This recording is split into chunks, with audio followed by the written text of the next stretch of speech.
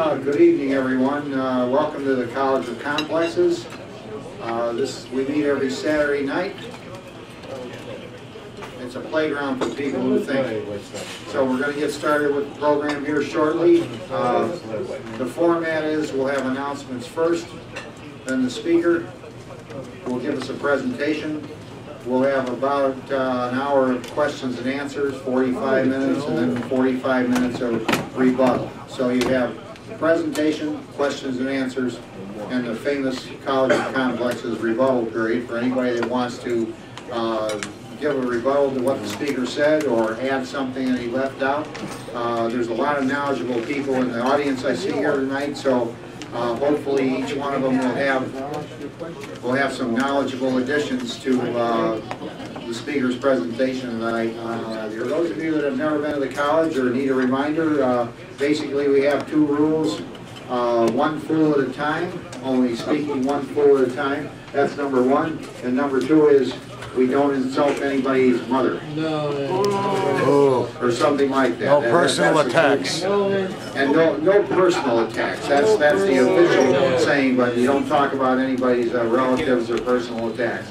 So try to keep it civil, and we should have a very uh, articulate discussion tonight on a variety of issues that are sometimes covered by the press and most of the time not. All right, now I'd like to introduce a gentleman I've known for many, many years, and he has a degree from Midwestern School, I don't recollect, in environmental sciences, and has been active in the environmental movement since the first Earth Day, I believe. Uh, He is the presiding office, presiding officer of the Nuclear Energy Information Service, which has been many, many years working to alert us regarding the dangers of nuclear uh, energy, as well as schemes like thorium that guys are trying to sell as being perfectly safe. You just, you just misunderstand it, Charlie. That's Yeah. I just don't understand it. Anyhow, Dennis has been speaking uh, on Earth Day for a number of years, and we're glad to welcome him back again. I'll let him get through the topic and add any more remarks to it. Thank you. All right, let's go. Let's go, vote green. We don't need those here. Thanks, everybody, for coming for this Earth, this Earth Day weekend, and it is a weekend. A whole uh, weekend of activities by uh, schools, churches, community groups, nature centers, things like that. Um, And I'm, again, I'm a Dennis Nelson, and I consider it an honor and a privilege to be one of the uh, Earth Day weekend uh, speakers for the, Yeah, uh, the right. month of uh, Earth Month. I've been actively involved since the first Earth Day. Uh, Yesterday was the official uh, Earth Day. Uh, April 22nd was the 46th anniversary. The day before, April 21st, um, a bunch of us went down to Springfield, and I've got a T-shirt from a rally and a lobbying day at Springfield, um, lobbying in favor of the Illinois uh, Clean Jobs Bill, which we can talk about, and a rally in favor of cleaner air, cleaner energy, cleaner jobs, and climate justice. And we're going to get into all these topics uh, tonight. Uh, yesterday, I attended a morning uh, rally that uh, there were a lot of news cameras there uh, down by the Chicago River, put on by Environmental Law and Policy Center, Sierra Club, and some other heavy hitters, talking about um, water quality, uh, improving the uh, quality of the Chicago River, uh, saving the Great Lakes, including Lake Michigan, and we could talk about uh, those, those things tonight.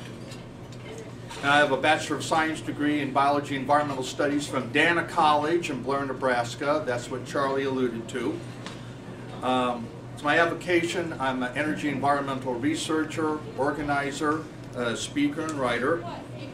Uh, Just want to say a couple things about decorum. Everybody looks uh, pretty uh, attentive. Uh, No, no outbursts. There's plenty of time to hear uh, people's questions and answers. um, And during the rebuttal session, to hear what you have to say. Again, I don't want to have to ask anybody to leave or have the management uh, have somebody leave, but I will do so. So let's everybody, you know, um, you know, have, you know, keep, you know, you keep- watch your Ps and Qs and and we'll have a very uh, fruitful session today. This topic, I think, is one of the most interesting chapters of environmental history, and I've toyed around a long time with talking about it. I heard a presentation a while back at Green Festival at Navy Pier, and the, the, it was adequate, but it was like the speaker went into summarizing Ehrlich's classic, The Population Bomb, and Julian Simon's book, The Ultimate Resource, and kind of left me wanting more, kind of left me dangling. How does this relate to today? The presentation was good, but I think mine's better. And, um, and again, follow along. Uh, if you don't have a copy, I've got extra copies. Again, my uh, typing and uh, computer skills don't match my writing and speaking skills. So the way that the computer printed it out, the paragraphing is kind of goofy. It's a little on the small side as far as print, but uh, you know they cut down on the number of pages that I needed to copy. Um, all of the stuff in brackets, the resource material, I'm not going to be going through today. I'm not going to be reading that except for one sentence, and that's for a reason. I'm just kind of slipping in. So. The speaker, I went up and talked with him afterwards. And I said, there's a lot more things that could be said about the topic, and he agreed. I also said that there was the, the, another bet, the second bet that Julian Simon didn't take, and he knew about this, but didn't mention it. Now here I am, I'm talking about a second bet, and we haven't even gotten to what the first bet is, but that's something that I want to talk about later on, because it's totally relevant to the contrasting viewpoints we're going to be talking about tonight. Okay, so uh, let's get started. And um, is here, had an excellent presentation about uh, the history of Malthus. Was Malthus correct? Which I agree with basically because we have to learn within limits. We're going to get into that. But a brief review. Uh, who, is Char who is Thomas Malthus and why is he so important? This is according to Paul Sabin, Associate History Professor at Yale University, who went so far as to write an account of the whole episode about the Ehrlich-Simon bet. Quote, Ehrlich's widely publicized fears about population growth provide the arguments of the Reverend Thomas Malthus, a political economist who famously declared in a 1798 treatise that the power of population exceeded the, the power in the earth to produce subsistence for man. Populations doubled rapidly, Malthus argued, while subsistence could in- increase only incrementally. This inherent tension between populations growing exponentially and limited subsistence doomed humanity to hard suffering. Necessity, that all prevailing law of nature, Malthus wrote darkly, kept all plants and animals to prescribed bounds. Limited subsistence would constrain human population growth through the grinding law of necessity, misery, and the fear of misery. Malthus's ideas about population growth, natural limits, and the struggle for existence would significantly influence Charles Darwin and Alfred Russel Wallace in their development of the theory of, of evolution by natural selection in the mid-19th century and be embraced by biologists like Paul Ehrlich a century later, unquote. My definition of modern neo-Malthusianism and cornucopianism, contrasting and conflicting ecological world viewpoints. Modern neo-Malthusianism is an updated and revised overall re- version to reflect and include the host of environmental problems facing us today that Thomas Malthus could never have envisioned in his day. Modern neo-Malthusiasts must simultaneously deal with the multiple factors responsible for our current predicament. Overpopulation and population growth, overconsumption and unlimited economic growth, inherently dangerous and faulty technologies, and the attitudes, assumptions, behavior that are impeding our progress in solving our environmental crisis. Neo-Malthusians support women's reproductive rights and empowering women with educational and employment opportunities. Neo-Malthusianism is big on promoting human equal rights. Climate justice is a human right because climate disruption will disproportionately impact minorities and poorer people the most. Cleaner and safer drinking water is a human right. Just ask the residents of Flint, Michigan. Trade fair, tra fair trade, not free trade, should protect the rights of consumers, workers, and indigenous people. All environmental problems are on the table this evening, and any of them are fair game for our discussion. So, who are the modern Neo-Malthusians? Uh, besides myself, we have, of course, one of the main players in the bet, Dr. Paul R. Ehrlich, an entomologist and population biologist at Stanford University in Palo Alto, California. Dr. Ehrlich is a prolific author who has written numerous books, articles, and scientific papers, but he will always be best known as the author of the best-selling ecological classic, The Population Bomb. Another obvious neo-Malthusian is Anne H. Ehrlich, Paul's wife, who is also a biology professor at Stanford University and a close writing collaborator. Dr. John P. Holdren, a colleague of Ehrlich who participated in the bet, and Obama's chief science and technology advisor, is an environmental scientist with degrees in aeronautical engineering and plasma physics. Dr. John Harte, another Ehrlich colleague who also participated in the bet, is a physicist turned environmental scientist. Other modern neo-Malthusians include Dr. Herman Daly, an ecological economist who is the architect of steady-state economics. Dr. Norman Myers, an environmental consultant who had his own debate with uh, Julian Simon. Physicist and energy consultant Amory B. Lovins, co-founder and chief scientist of the Rocky Mountain Institute, RMI, a think and do tank working on the sustainable use of resources. Biologist Dr. Garrett Hardin, professor of human ecology at the University of California, Santa Barbara. Agriculture economist Lester Brown, founder of the World Watch Institute and Earth Policy Institute, environmental leader David R. Brower, former Sierra Club executive director and founder of Friends of the Earth and Earth Island Institute, Massachusetts Institute of Technology's MIT's To Limits to Growth, which was done for the Club of Rome, and President Jimmy Carter's The Global 2000 report. Now we come to what cornucopianism is. Cornucopianism believes that the Earth's resources are infinite and there are no limits to growth. Besides being climate science deniers and climate policy delayers, the cornucopians use junk science and junk values to deliberately ignore or downplay other real environmental problems as well. Cornucopians love to attack environmentalists, the environmental movement, and environmental laws. Cornucopians support the unrestricted overexploitation of our resources. Who are the cornucopians? Obviously, we have the other main player in the bet, Dr. Julian L. Simon, Professor of Business Administration at the University of Maryland and the author of The Ultimate Resource. And I wanted to point out something here, and it's not a mistake. In the handout here, Dr. Julian Simon is identified as being with the University of Illinois Urbana. That's where he started off. Then he and his family moved to the East Coast, and he ended up uh, at the University of Maryland. And both places are referenced uh, later on in the presentation.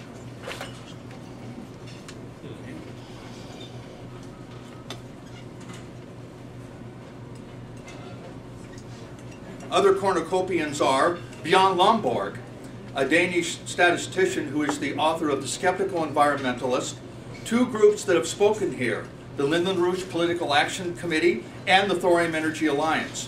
One individual who has spoken here, and that's libertarian writer David Ramsey Steele. Right-wing think tanks that are funded by the polluting Koch brothers, David and Charles Koch, ExxonMobil, the coal industry, and others the Cato Institute and the Heritage Foundation, which Julian Simon was both involved with, the Heartland Institute, based here in Chicago, and the Competitive Enterprise Institute. Dr. Herman Kahn, a futurist with the Hudson Institute, and co-editor with Julian Simon of The Resourceful Earth. Demographer Ben Wattenberg, who thinks that there is no population problem and wants to Simonize uh, climate justice activists right-wing media co commentators, such as our friends uh, Rush Limbaugh, Glenn Beck, Ann Coulter, and Sean Hannity. Now, what was the infamous Ehrlich Simon bet. This is not, this didn't happen overnight. It was the result of continuing cat and dog fight between Paul R. Ehrlich and Julian L. Simon in scholarly journals, newspaper op-ed pages, and public presentations. In 1980, Julian L. Simon issued a 10-year, 1,000 bet to Paul R. Ehrlich, along with two of Ehrlich's colleagues, John P. Holdren and John Harte, that the prices of five metals, copper, chromium, nickel, tin, and tungsten, would not show an overall increase during the 1980s. Quote, Ehrlich's warnings about limits to economic growth, famines, and declining food harvest suggested rising prices that reflected growing scarcity due to population growth. But Simon argued that prices generally were falling for natural resources because they were becoming less scarce due to increasing productivity and human ingenuity, unquote.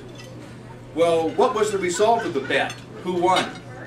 We turn again to Paul Sabin's excellent, well-researched, and well-written account of the entire episode. Quote, one day in October 1990, Julian Simon picked up his mail at his house in suburban Chevy Chase, Maryland, in a small in a small in a small envelope sent from Palo Alto, California.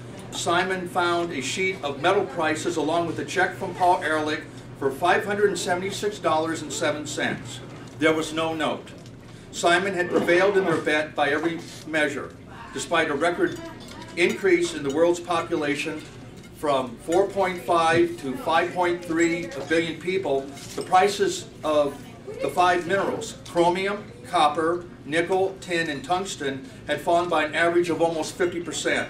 20 years after he had publicly attacked Paul Ehrlich in his Earth Day remarks in the University of Illinois auditorium, Simon finally had a tangible, definitive victory that he and his supporters could crow about.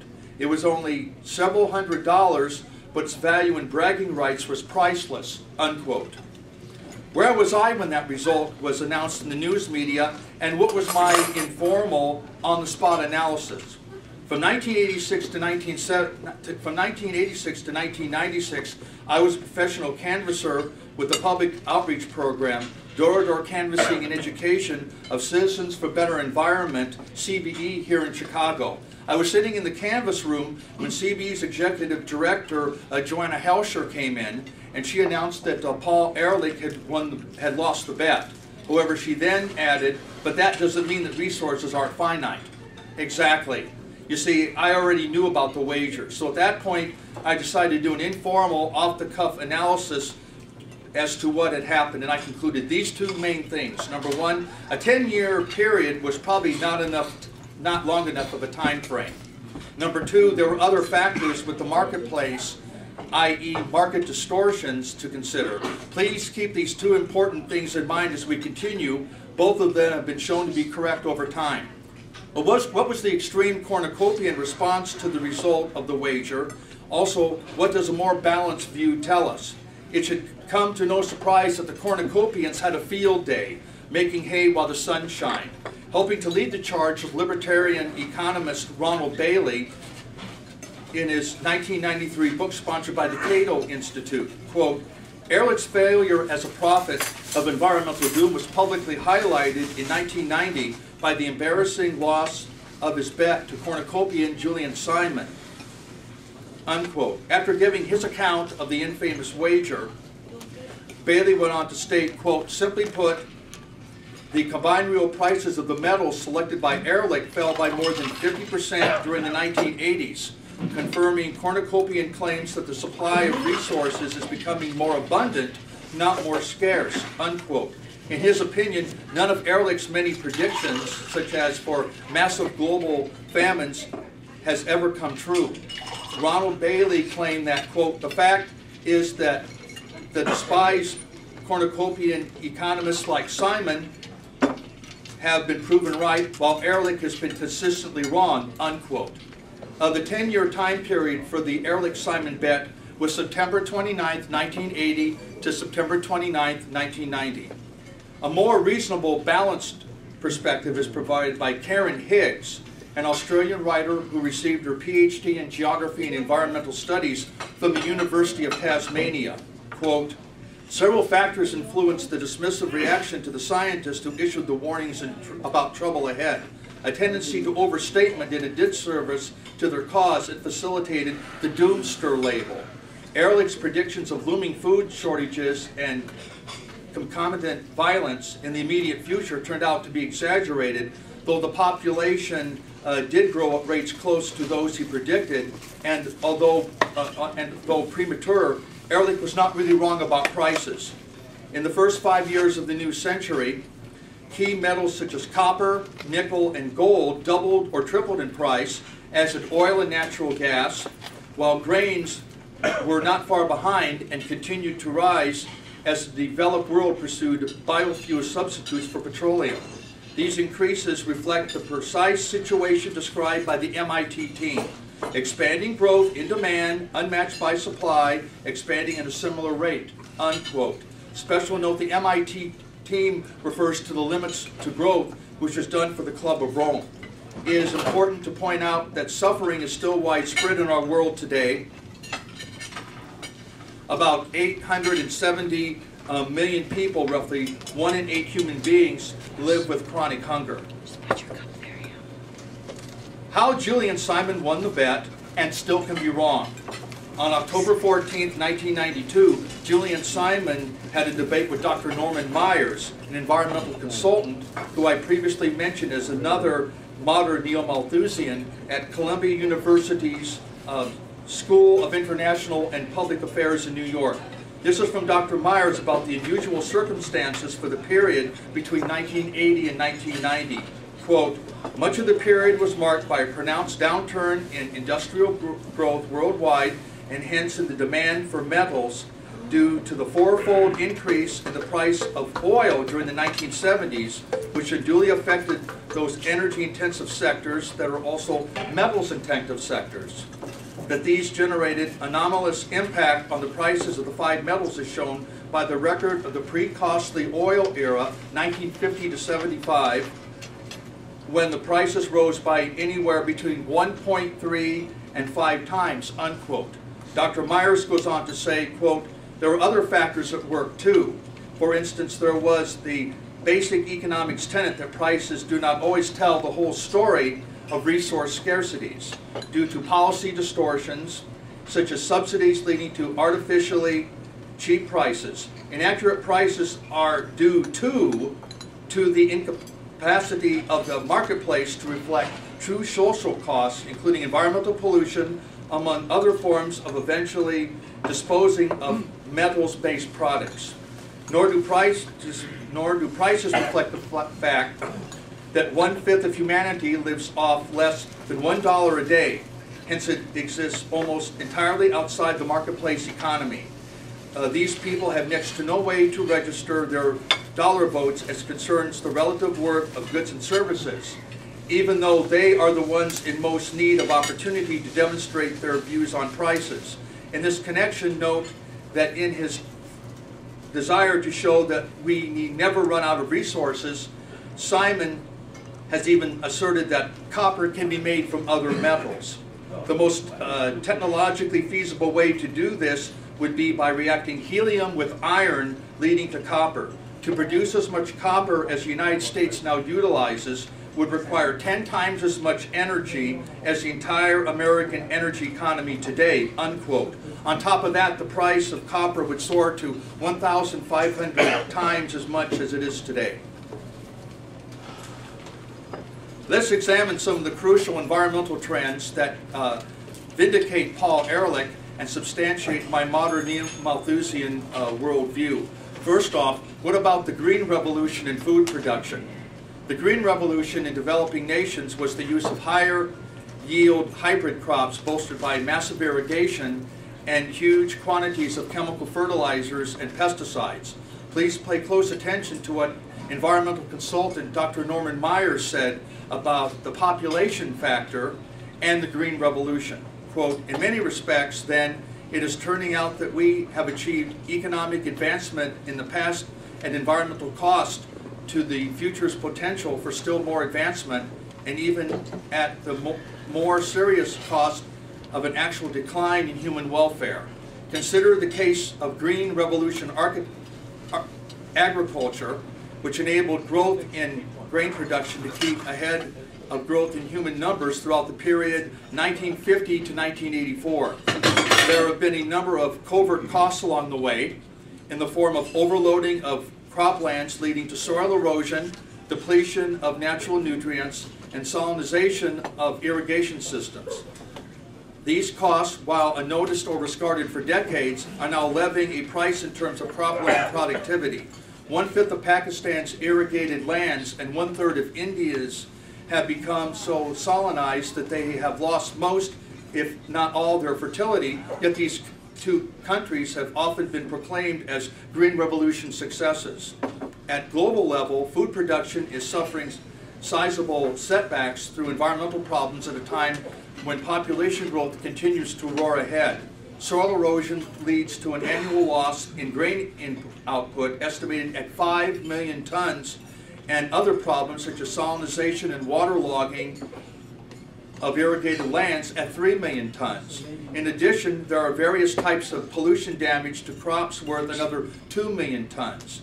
So the total from all forms of environmental degradation comes to 14 million tons of grain output per year.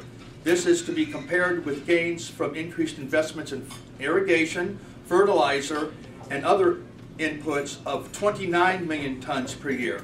This environmental factors now cause the loss of almost half of all gains from technology-based and other advances in agriculture. Worse, the, the pr- proportion has steadily risen in recent years and seems set to expand still further within the foreseeable future. We can little afford this shortfall since we need another 28 million tons of grain output each year just to cater to the needs of population growth, let alone the demands of economic advancement and enhanced diets. While the gain in grain output is only around 1% each year, population growth remains at 1.7%, and in the developing world, with almost four-fifths of the world's population at 2%. We are not feeding hungry people more, we are feeding more hungry people, unquote. Next, what about China? The North China Plain, where the North, where the Yellow River flows, is home to about 200 million Chinese, or in other words, almost 25% of China's population. Being among China's most environmentally vulnerable areas, the North China Plain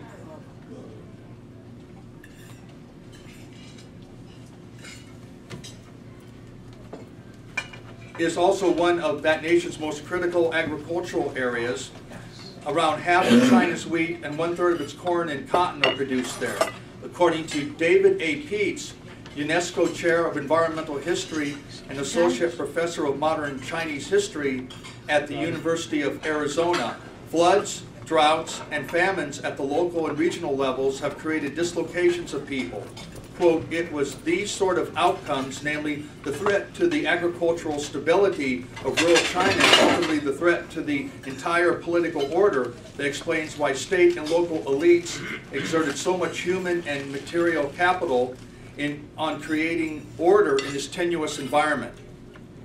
Traditional flood control regimes have more recently been joined by irrigation networks and massive dams in the search for ecological stability on the North China Plain. Failure to maintain water systems, particularly flood control structures, would mean that one of the most productive regions of China would revert to uh, fever-driven and uninhabitable swamps. The historical commitment to prevent this reversion to a natural state must be maintained to avert a social and political catastrophe. But the development of this human-built world with all of its material artifacts to restrain floodwaters, water the plain, fuel industry, and illuminate households has, along with natural forces, become a factor in resource scarcity. As a part of the background of ecological marginality, the forces of uh, demographic growth, agricultural intensification, industrialization, and urban expansion have further pressured the ecological carrying capacity of the North China Plain. The same atmospheric and hydrological events as those that help precipitate profound ecological change in the in the imperial area, era would happen more easily now than during historical times, unquote. Now what about Africa? According to uh, Robert Engelman, a researcher with the World Watch Institute, the population projections for uh, Africa are alarming. If birth rates remain stubbornly high by 2100, Africa's population could be between 3 billion and 6.1 billion, up sharply from 1.2 billion presently. This unexpected increase will stress the already fragile resources in, in Africa and around the world. A significant decline in fertility can only be achieved if women are empowered educationally, economically, socially, and politically. Women must also be given easier and more affordable access to contraceptives. Following this integrated strategy, Mauritius has lowered its uh, fertility rate from 6 to 1.5 children. Tunisia's fertility rate dropped from 7 to 2 children. Men also have to relinquish their role, their sole role, over the decision to have children and refrain from abusing their wives or partners who want birth control. In order for these efforts to ultimately succeed, government leaders must encourage public and policy conversations about slower population growth. What about the world's ocean? From outer space, our planet has the appearance of a large blue marble. According to the National Oceanic and Atmospheric Administration, NOAA, about 71% of the Earth's surface is covered by seawater. Despite our tendency to name different oceans, Atlantic, Pacific, Indian, Arctic, and Southern, there is actually only one ocean. It is a connected body of seawater which has greater depths hiding bigger valleys and mountains of larger magnitude. The perspective of oceanographers, marine biologists, conservation ecologists, and environmental energy conservation activists, ocean advocates like myself maintains that the ocean is a finite resource to be protected and sustainably managed, the modern Neo-Malthusian worldview, rather than an infinite sink to be overexploited and polluted without regarding the consequences, the cornucopian worldview.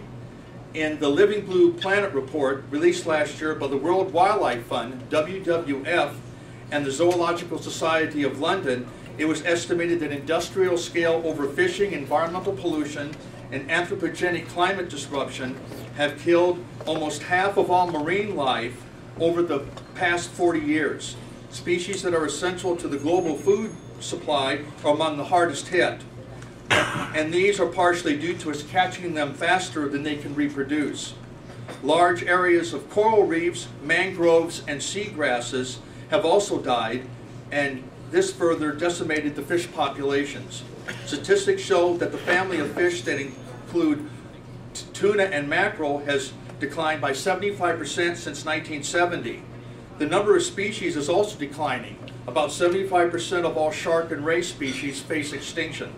Roughly 50% of all coral has already disappeared and the rest will vanish by 2050 if ocean temperatures continue to rise at their current levels. While coral reefs occupy less than 1% of the ocean surface, they harbor a third of all ocean species.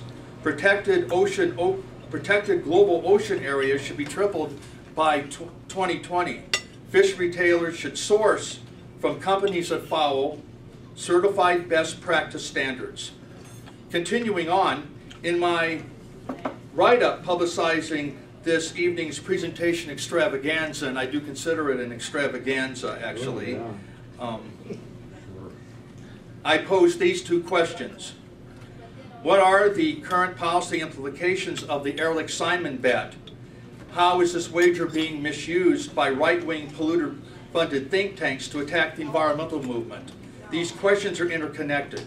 We hear again from author Kerryn Higgs, quote, Julian Simon, associated with both the Cato Institute and the Heritage Foundation, made the first concerted denial of the environmental crisis in the ultimate resource, and followed up with the Resourceful Earth, a reply to President Carter's Global 2000 report, which he co-edited with Herman Kahn.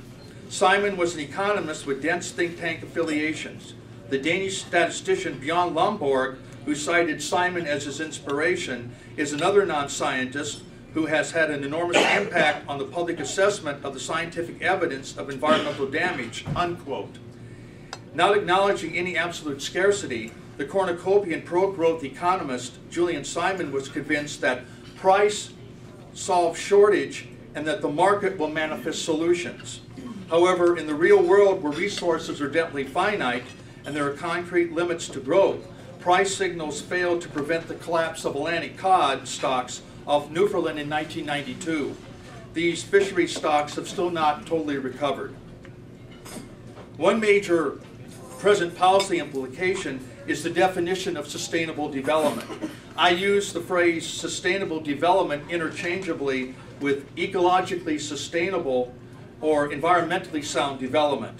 I take the concept of sustainability to mean the existence of the ecological conditions necessary to support human life at a specified level of well-being through future generations. In other words, ecological sustainability.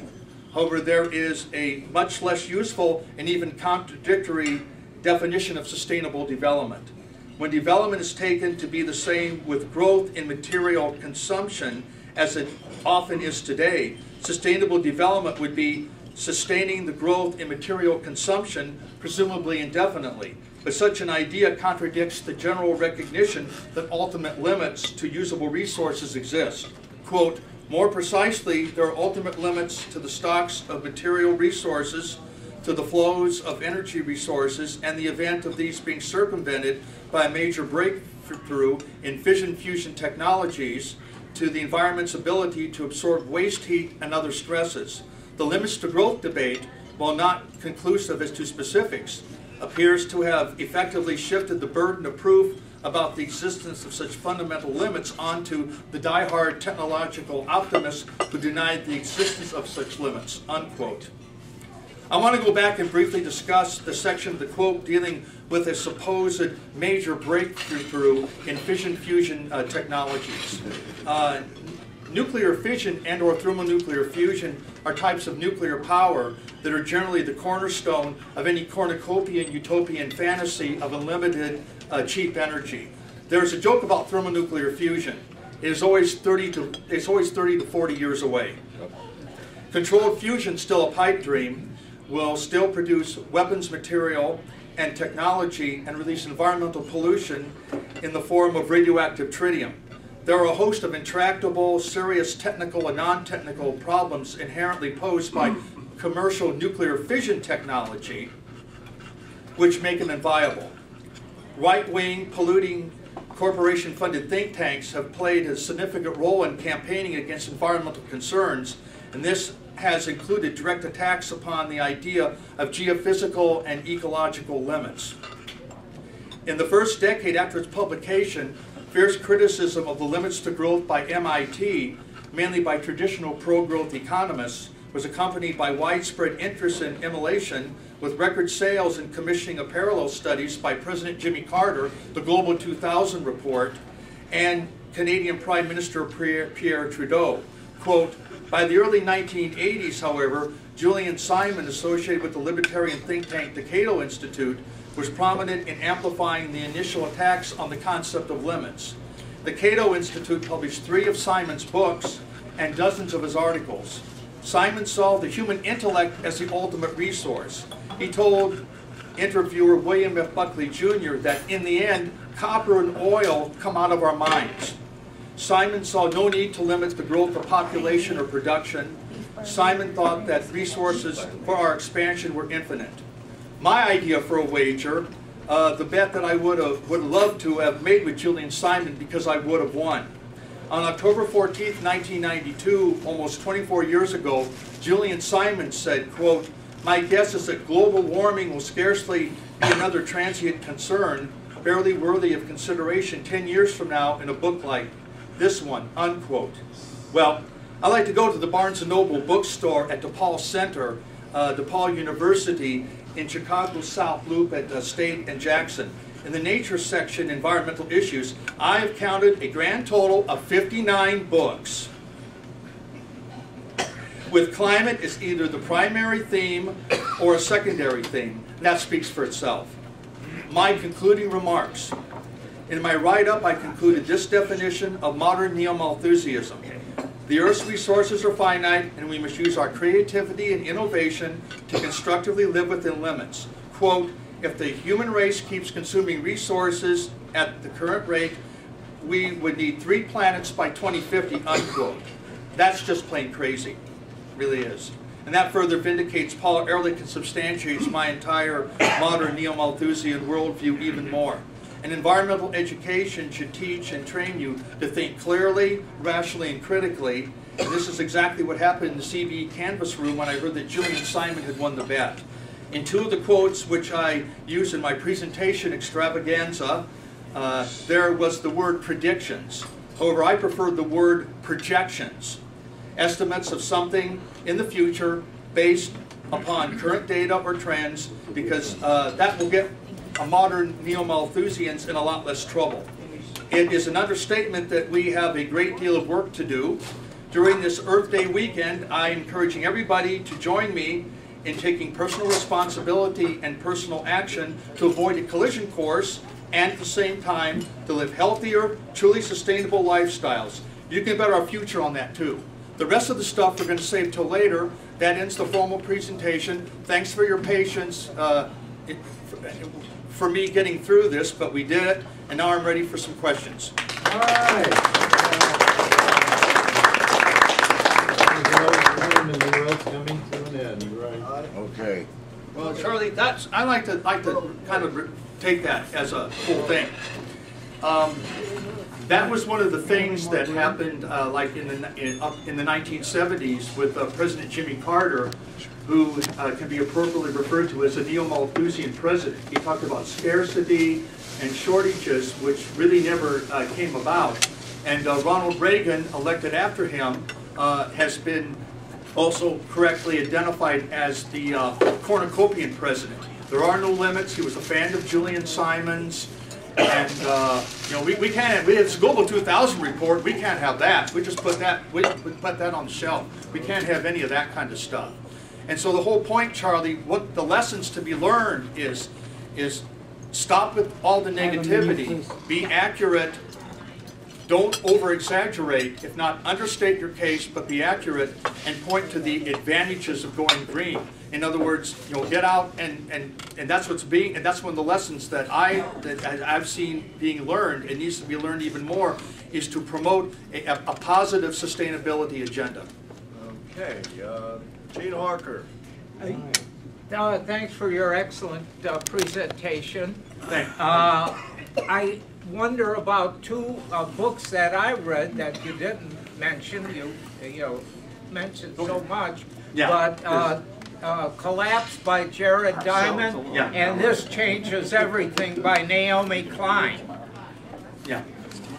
Um, there are limits to things, and one of the limits I put on, just not joking, was the uh, bibliography. Otherwise, the bibliography could go on literally almost forever with all the resource material.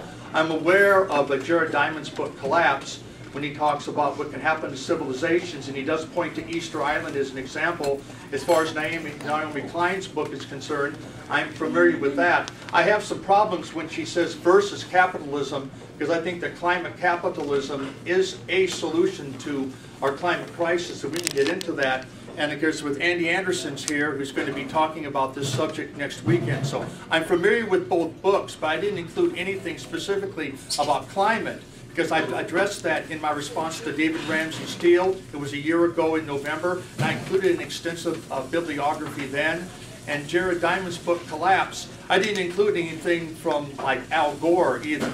And Al Gore is another uh, modern neo-Malthusian. So I'm glad you, I figured that somebody's going to be pointing out some books, and, and that's fine, but I, I was selective in the ones that were kind of a lean and mean bibliography, the stuff I directly quoted from, and some supporting material. But yeah, I'm, those are two good books, and I would recommend them. I'm, fam- and I'm familiar with both of them. Thank you. Bill Went. and Uh, you consider counterfeiting a serious crime? Yes, I don't understand what that has to do with tonight's Well, I'll explain then.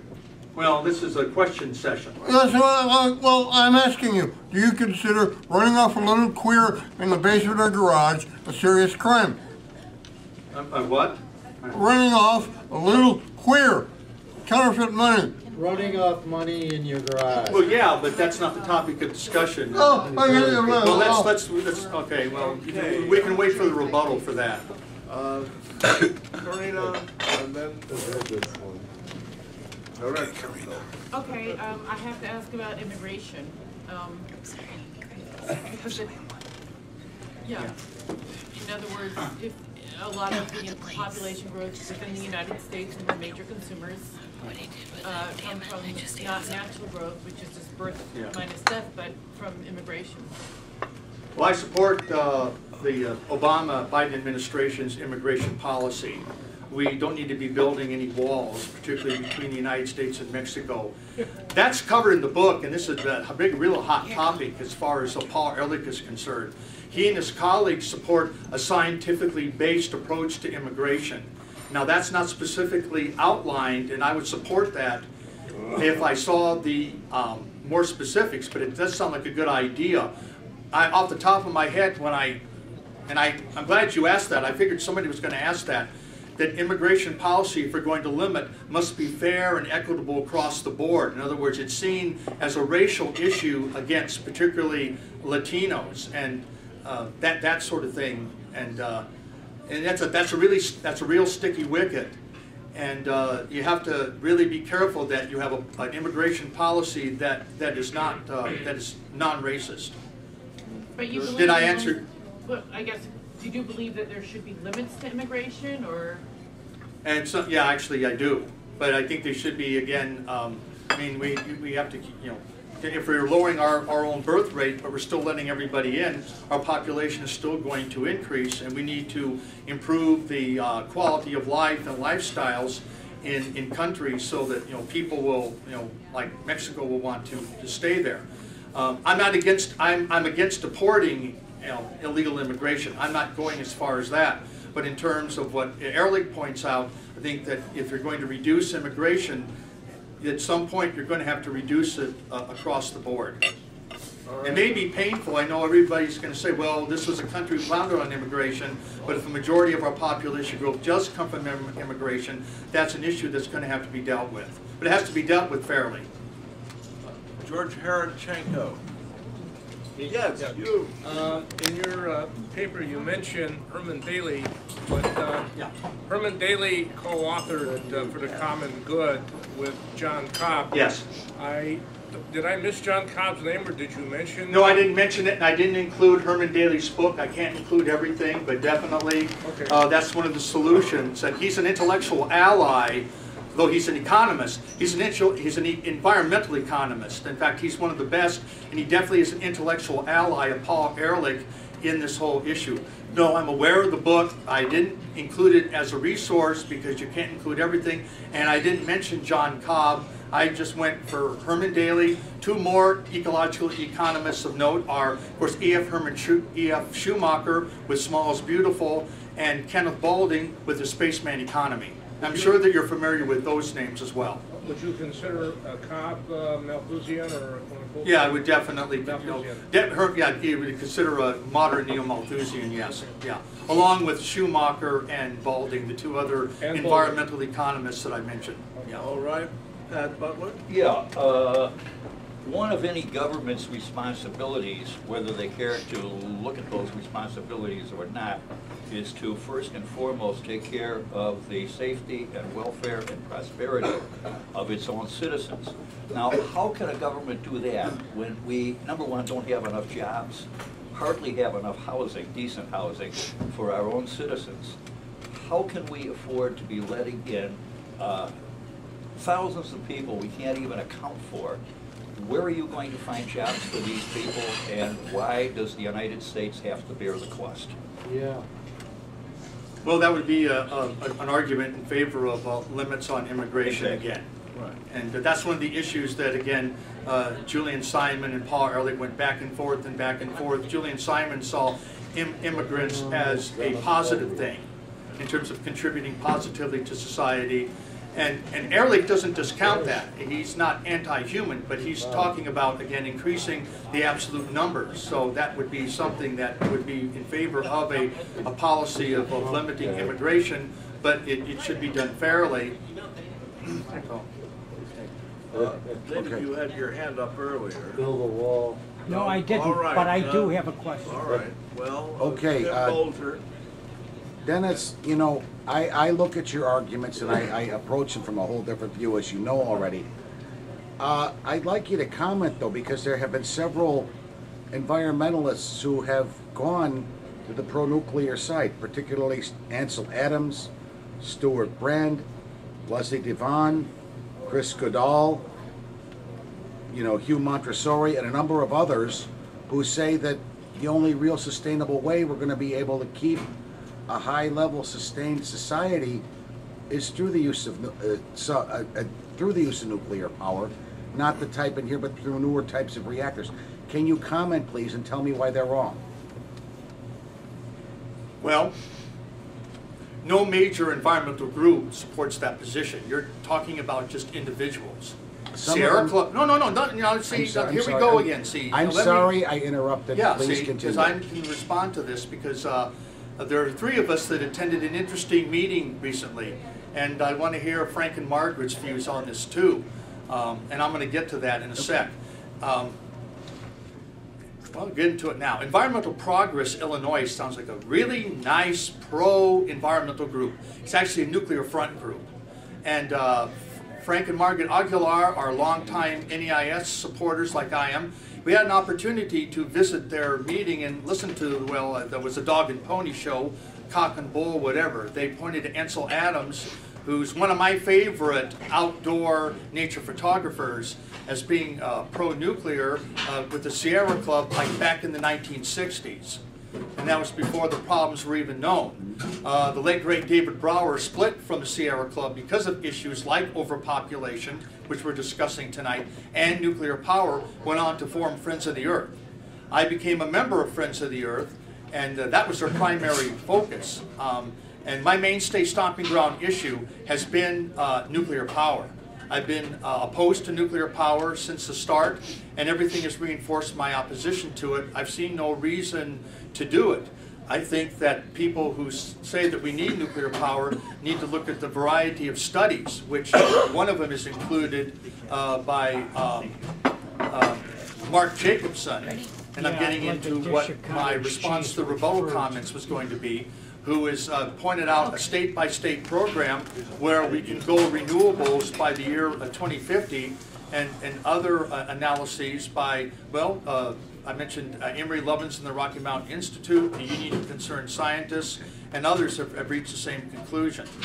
Um, back then, you know, I was, of course, a high school student, and I thought, why are these environmentalists supporting nuclear power when I'm reading all this stuff about John Gofman and Arthur Tamplin, Tamplin whistleblowers, uh, attacking the nuclear establishment over low-dose radiation against radiation standards, and then the ineffectiveness of the emergency core cooling system that the Union of Concerned Scientists pointed out at reactor safety hearings in Bethesda, Maryland. And I, you know, there were a lot of, I thought, well-intentioned but misguided environmentalists who support nuclear power. And I'm saying the same thing now. This was, I said this back in, it was the spring of 1972. We talked, we, the seniors taught the social problems class, the ecology unit. Me. I got up and Can said, I how have a glass peaceful the peaceful please? atom, not very, said nuclear power should be turned off. I'm saying the same thing in 2016, and I'm saying we have a bunch of well-intentioned but misguided environmentalists to support nuclear power. I mean, I mean, the more things change, the more things stay the same. Yeah. Okay, thank, thanks. We, we can discuss this in more detail. We'll Right. get into it more. Thank David you. Zucker. Yes. Um, where did Paul Ehrlich and Simon come out on the issue of dams here in the United States? They haven't. But um, you asked the question, you raised the point, and this is probably the closest to, well, uh, what I would call a contrived reality uh, College of Complexes presentation. I, I asked you to, I, I, I requested that you ask your question about dams, large dams, because you raised the issue when the Lyndon LaRouche Political Action Committee spoke here. Uh, their cornucopia in response to the so-called technologies to solve California's water crisis, you got up and said that, you know, environmentalists like, and mentioned me by name, no, no offense, should look more into large dam projects. And it just so happens that through my reading, um, which actually started last year preparing this presentation, there have been some excellent sources about the large dam projects that are bad, that do uh, destroy a lot of essential uh, wildlife habitat and a lot of tropical forests that provide important ecosystem services and will displace uh, indigenous people.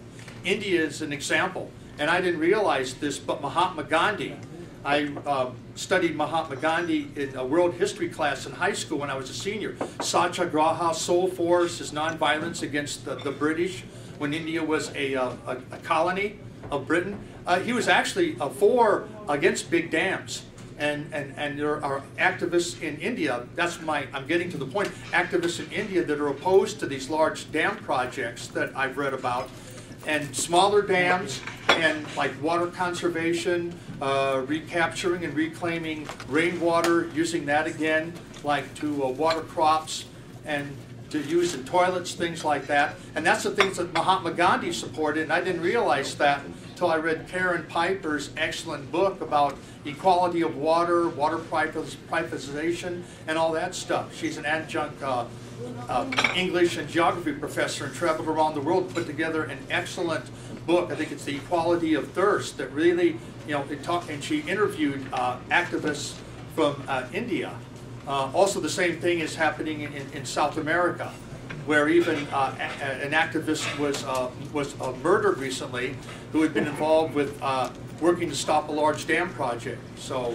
Um, I mean, you need to look at alternatives. Environmentalists look looking to alternatives to large dam projects, smaller projects, and also more uh, water conservation and uh, water uh, water efficiency.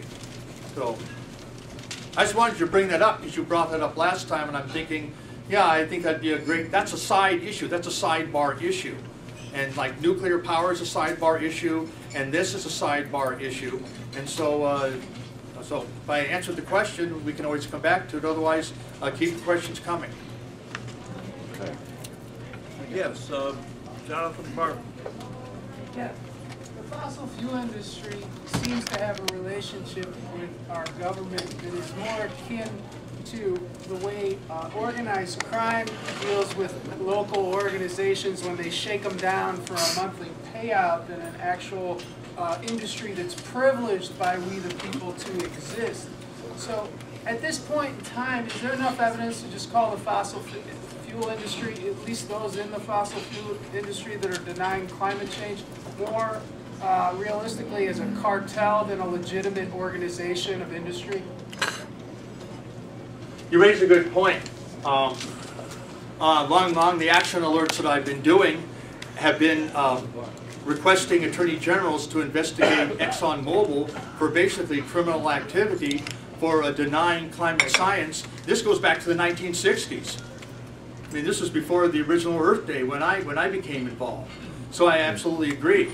I, I very much support uh, Bill McKibben and uh, 350.org's uh, divestiture uh, campaign is to uh, divest from uh, the fossil fuel industry, which has really caught on with uh, churches, uh, campuses, even some corporations have been doing that. Taking their money out of fossil fuels, they also need to take it out of nuclear power too.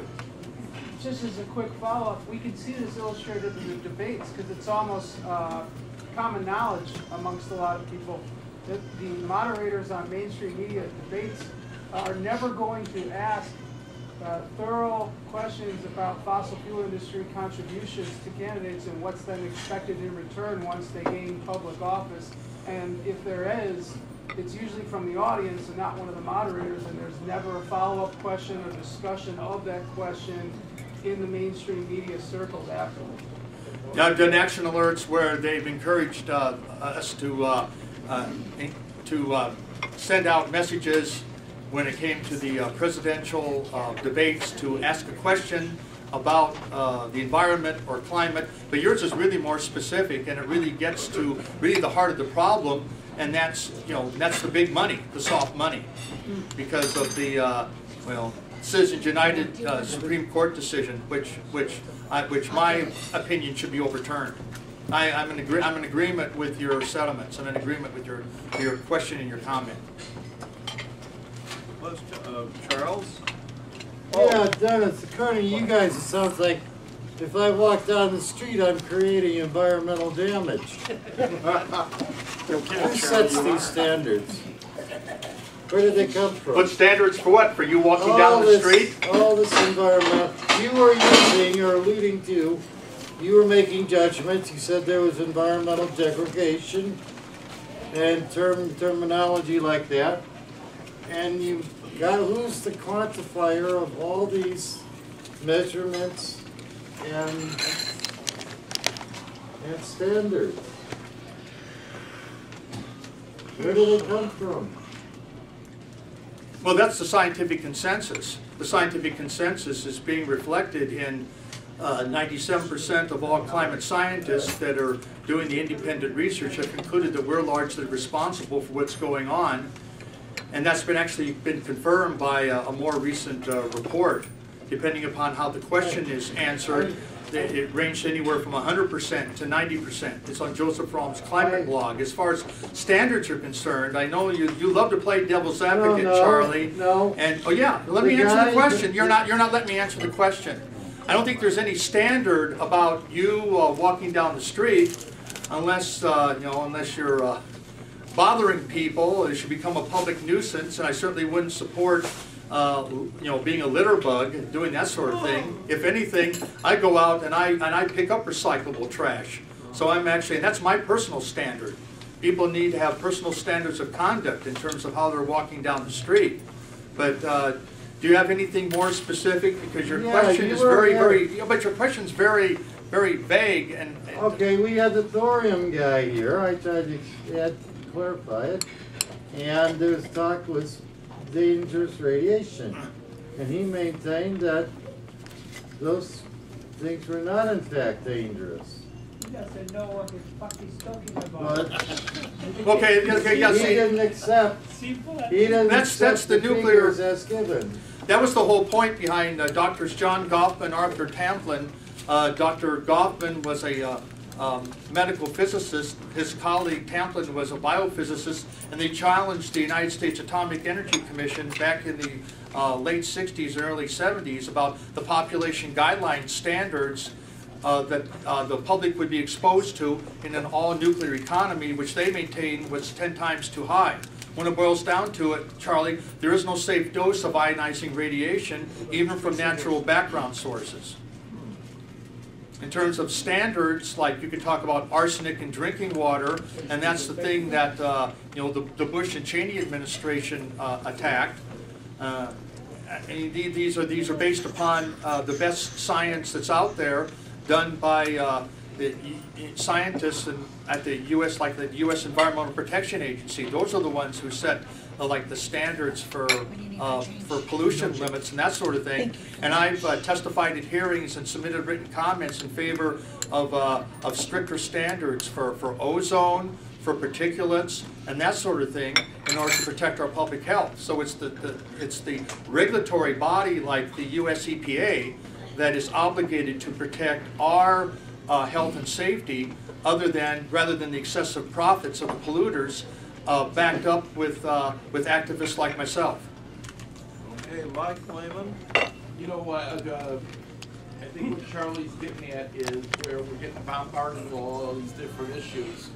And what, in your opinion, are the top five biggest environmental problems today? Like, like when they're telling us we're not supposed to use plastic bags, and plastic bags, it's like a drop of oil, it's not that big of a deal. Or, you know, we spend trillions of dollars on oil wars over the years in defense of the Middle East.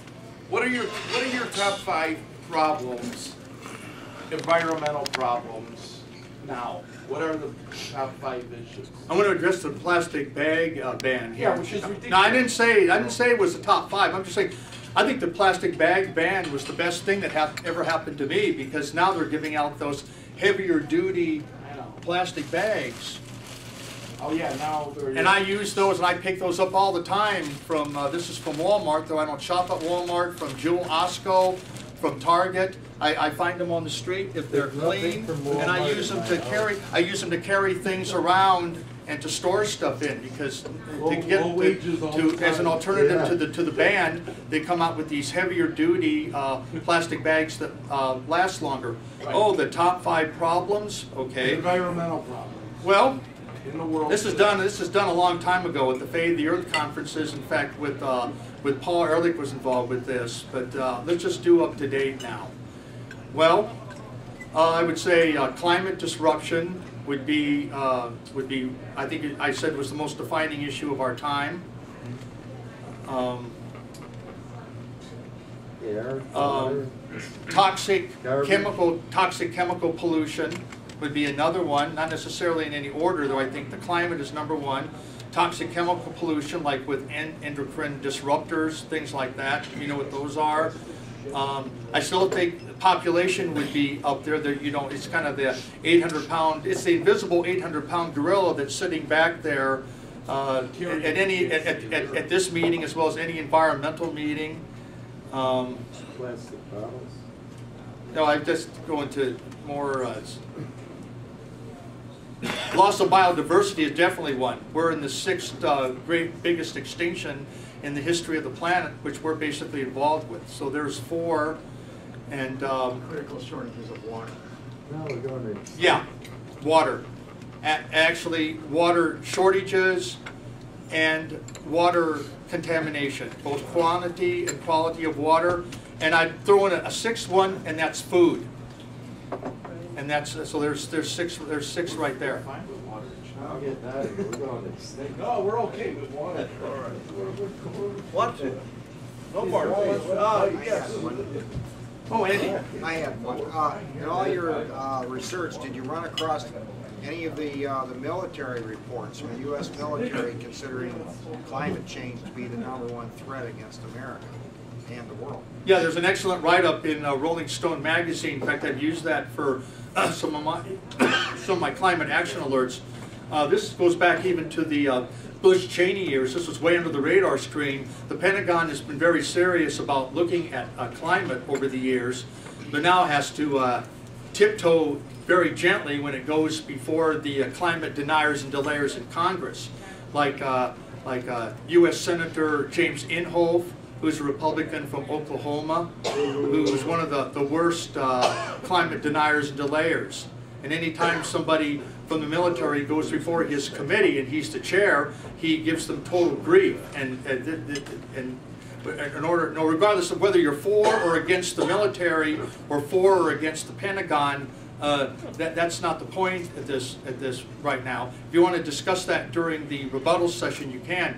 But it really hampers our readiness because, again, and it's projections, but the best projections from, not, didn't say prediction, projections based on the climate models that aren't perfect, but they're good enough and they have gotten better. And I was asked a question about that another time that I spoke, shows that you have water shortages and food shortages that are going to uh, lead to um, you know conflicts.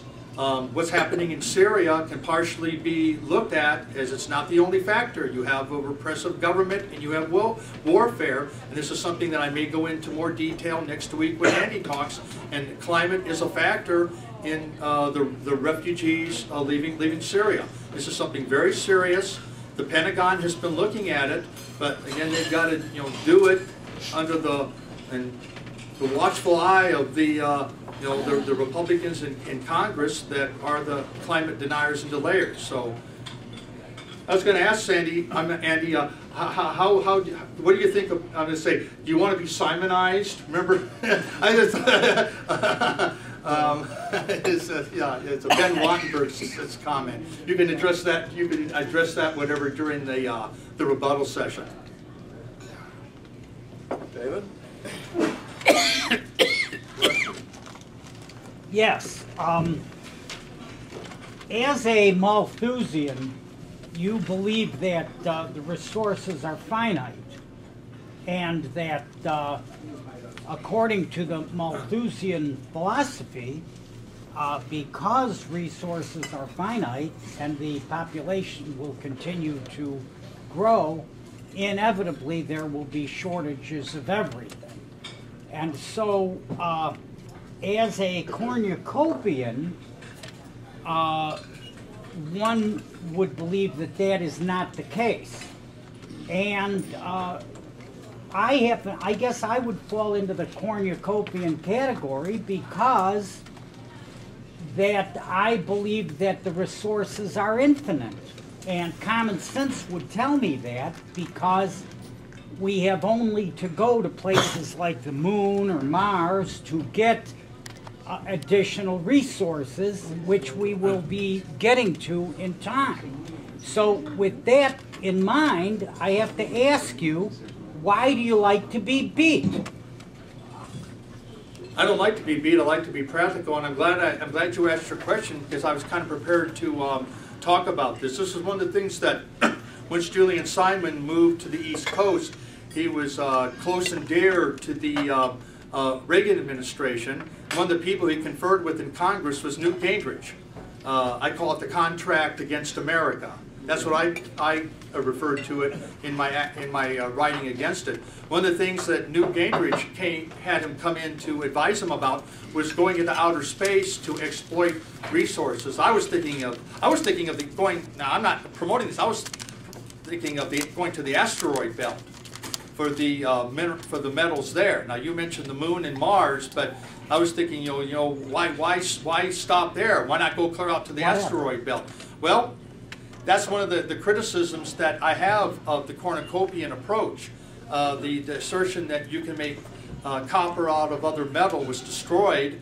Uh, it was a, a geographer Daniel Luten, and the source is cited. It's a little older, and I didn't see anything else on online to update it. But I mean, what's going to be the energy cost of doing what you want, and what is the economic cost of what you're doing?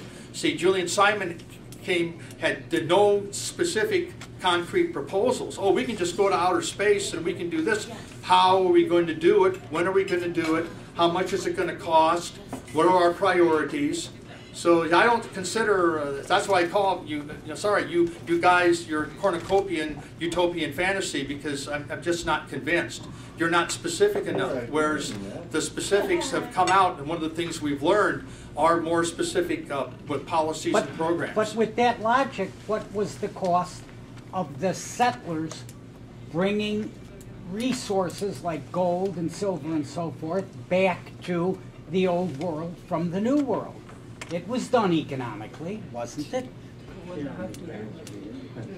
I think that uh, I don't see the analogy as valid. Well, You're but talking about- now talking we'll about- have to go to outer space, Yes. to the asteroid belt, or to the moon or But there's no specific Where it proposal to was- do so. uh, Where it was, was we had to, we had settlers come to the new world and they mined gold and copper and silver and so on, and then that was exported to Europe and the other nations. So, in other words, once again, it comes down to the fact that the, the uh, Malthusians have a defeatist attitude, and they, they seem to like to wallow in their own self-pity No, actually, of, of that we're- going to go This- against This is, them. yeah, Sounds like a we're, this, we're turning into a rebuttal Well, session, and it's- I'm gonna respond to your statement, and then we're gonna go on to another question, because this is not the rebuttal session.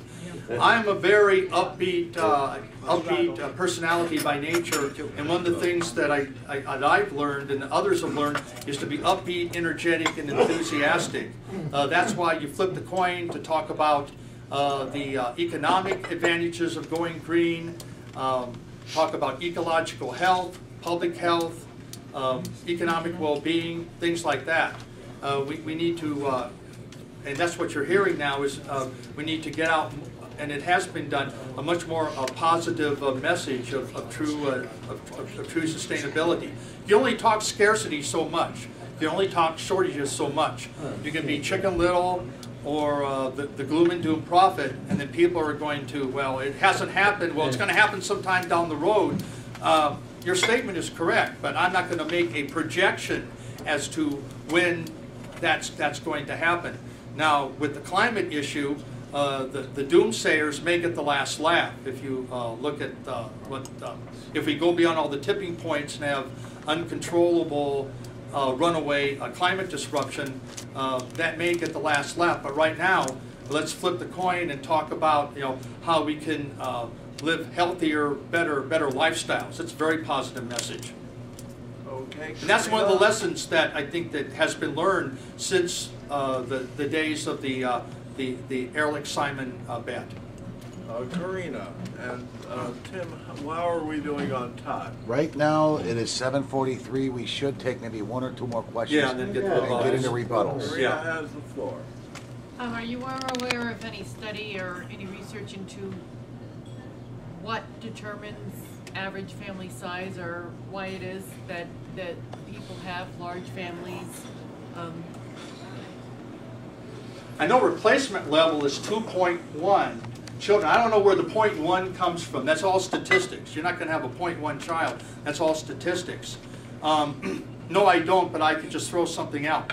This is back from the Nixon administration, the President's Commission on Population Growth and the American Future. This was back in the Richard Nixon days, said that You'll have some people that will have larger families, maybe four or five kids, three kids, and some people, like I'm one of them, that has chosen so far not to have any kids, and this should balance out. I'm just throwing that out. But no, I'm not aware of any studies, but I'm aware of what, of what the President's Commission just said, and the replacement level of 2.1, but I, I haven't, um, I haven't seen any studies or know of anything. Why are there countries that have an average, you know, a fertility rate of one point four and other countries that have,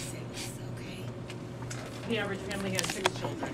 I mentioned Mauritius and uh, Tunisia, and, Tu- I mean Tunisia, Tunisia. Tunisia, and they're both countries in, in Africa. One's in the northernmost uh, part of Africa, the other is an island nation. I really, really didn't look into the, I have specifics about the countries, but I really didn't look into what they're doing in terms of their population policy.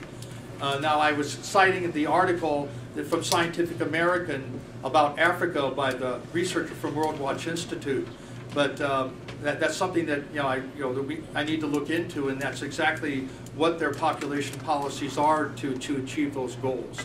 A lot of it, uh, uh, what specifically what they're doing, I mean specifically, you could say, well, we're empowering women, or we're providing contraception, probably a combination of those two things. I just don't know the specifics. That's a good question. Okay. Okay, yes, uh, Patrick. Yeah, uh, an obvious thing that would have to be done here would be, and I assume this will eventually be done, bringing some of our, all of our big-time polluters in this country into line uh, is relatively simple, I would imagine. How do you go after the big-time wholesale polluters like China, like India, and some of the rogue nations like North Korea? And how do you get them to fall into line and uh, adopt some awareness of the fact that if we keep doing this, we're all gonna, you know, die? Okay, that's a very good question, and it, uh, there's a very good answer to that. Uh, There was, uh, in December, there was the uh, climate summit in Paris, France, and there's an international climate agreement that uh, at least 170 countries were supposed to have met uh, last, met yesterday on the official Earth Day uh, in order to sign, including the United States, and that's one way of doing it.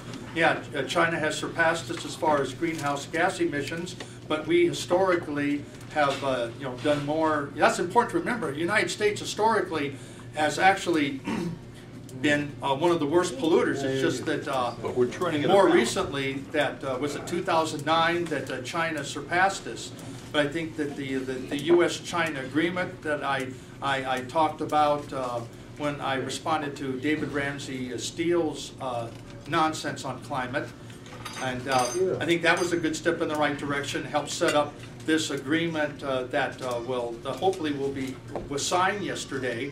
And I did some action alerts encouraging uh, world leaders to do that in order to, to get the ball rolling. But it, it has to be a, a global effort. We can do the um, state programs, local programs, but we do need the, the international agreement and cooperation along with investments in uh, carbon-free, nuclear-free energy pathways. Massive investments with uh, efficiency, cogeneration, and renewables. Okay, um, Charles? Yeah, Dennis, uh, you're opposed to certain types of new technology, and I was thinking the other night, you Malthusians, would you guys have, we're a railroad man, a couple railroad men here. Would you have been opposed in the nineteenth century to the building of the railroad network in the United States and bringing all those coal burning steam engines? I think it's, it's, uh, actually, um,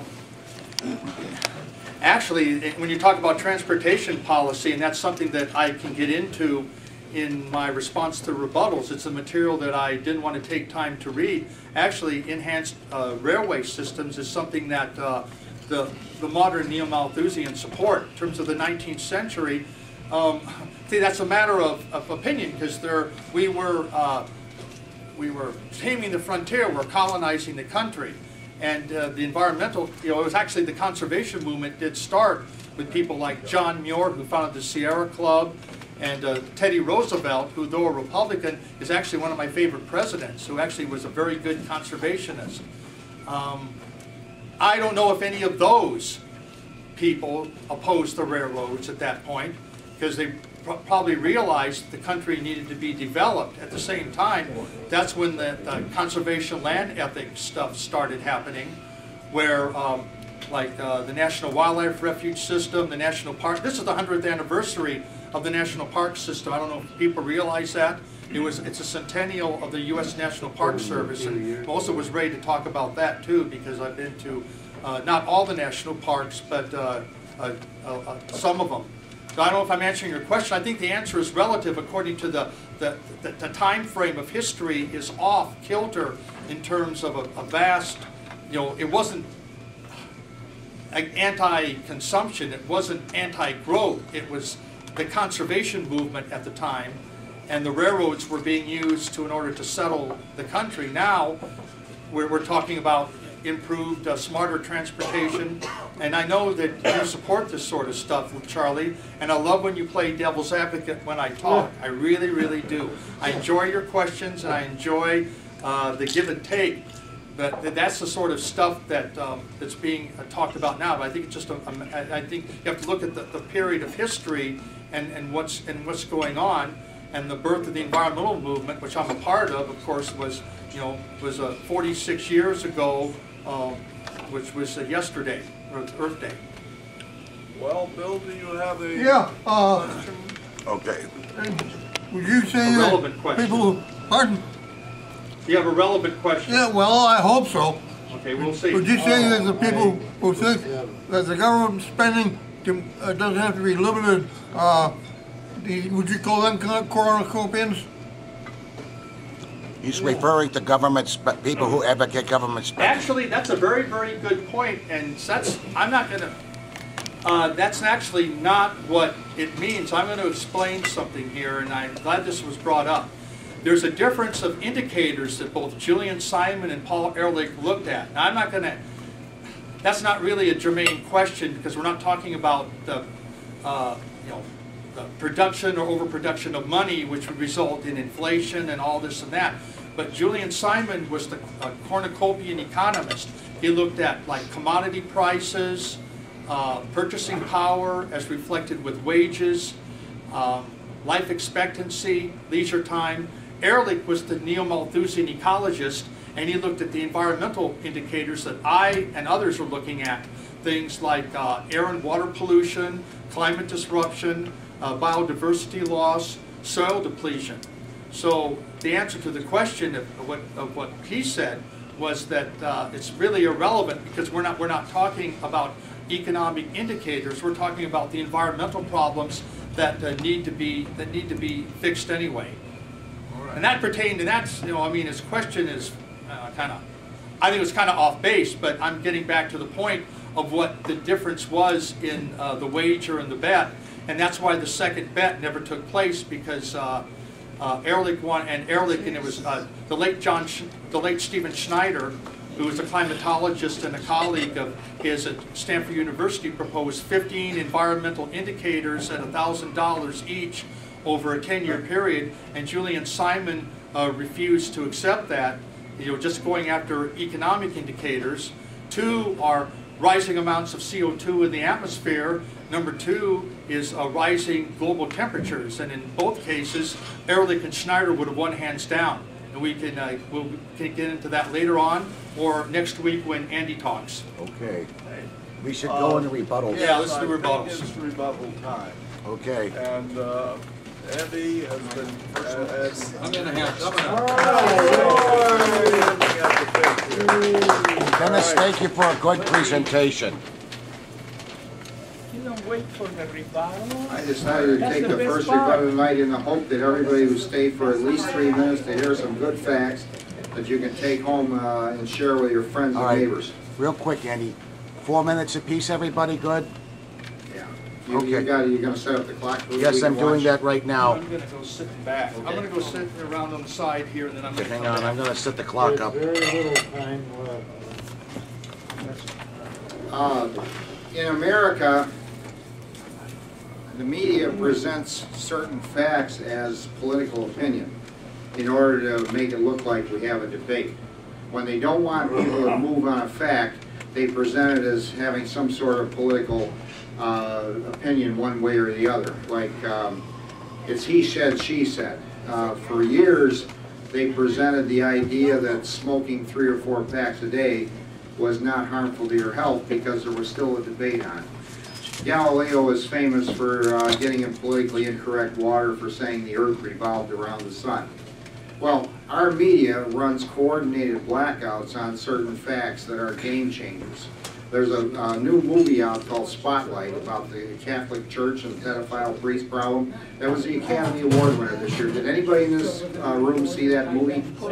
Okay, some people saw it. Well, that movie describes not just how they suppressed uh, the pedophile priest problem, it's, it looks at how the media covers or doesn't cover certain stories that might be uh, political hot potatoes.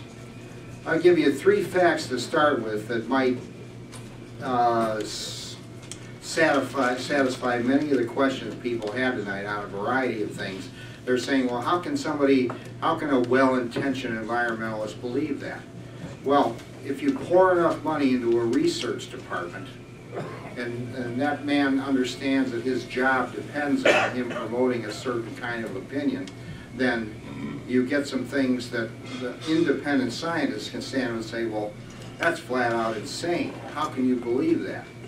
In 1967, the people that were promoting nuclear power thought that the best reactor accident rate safety record would be one meltdown for every thousand years of reactor service. Well, one in a thousand years doesn't sound bad until somebody pointed out they expected to have 1,600 nuclear reactors running on American soil. And somebody asked the guy at the press conference in 1967 from the Atomic Energy Committee, says, what does that mean? He said, well, this is 1967. You have to understand that by the year 2000, America is going to be overpopulated enough that the public is just going to have to get used to one blast a year and a few thousand dead in exchange for cheap electricity. The best nuclear minds we had before John Gofman and Arthur Tamplin stepped out and hit the campaign trail saying this is insane, they thought we would absorb one Chernobyl per year on American soil. And you wonder, you know, you're asking how, how can people believe this kind of stuff? In 1975, there was a hunt. In November, there was a hunt for a nuclear bomb, a terrorist nuclear bomb on American soil, Union property, Union Oil property in Los Angeles. The Nuclear Emergency Search Team and the U.S. government made the decision that day. They said, we're not going to tell the American people about the hunt until the day we don't find one and defuse it before it goes off. When we lose a chunk of an American city following Hiroshima and Nagasaki into the history books, then we got to admit there's a problem with nuclear power. If they told us about the hunt back in 1975, ComEd wouldn't have a nuclear power industry on the ground in America with all the others. 1983, Thomas K. Jones, Boeing aircraft executive. T.K. Jones became famous. He was pulled from Boeing and given the job of Undersecretary of Defense for Nuclear Operations in the Reagan administration. P.K. Jones' job was to fly around the country and have high-level meetings with businessmen who were getting nervous about nuclear war in the Reagan administration with the buildup. Jones said, famously, there's no problem with nuclear war as long as every American has his own shovel and can dig his Yeah. own foxhole. You dig a foxhole out back, put a couple of doors on it, you know, a pile of dirt up three feet, and you hide under, you crawl in and just sit under that mound of dirt as the cloud drifts over. Well, those three examples show what money can do with intellectual prostitution. And today, we are seeing it where intellectual prostitutes in the media are being paid to lie to us about the, the gains that Bernie Sanders is making to change the country. Bernie Sanders is only about 10 or 12 percentage points apart from Hillary. They're uh, you know, a, a death-to-death race, in other words, uh, in, in delegates, and they are reporting they're reporting that Hillary has already won and that mathematically she can't lose, so the voters should just stay home. That came out Wednesday last week. So uh, one of these days, uh, I'm down later in the summer on one of the open times, I'm going to give a talk titled Intellectual Prostitutes in America. If you got the money, we got the words. You can pour money into university but there's a thousand university professors in this country on a pay-to-play payroll, and they will produce any kind of report with any kind of criminally insane bullshit.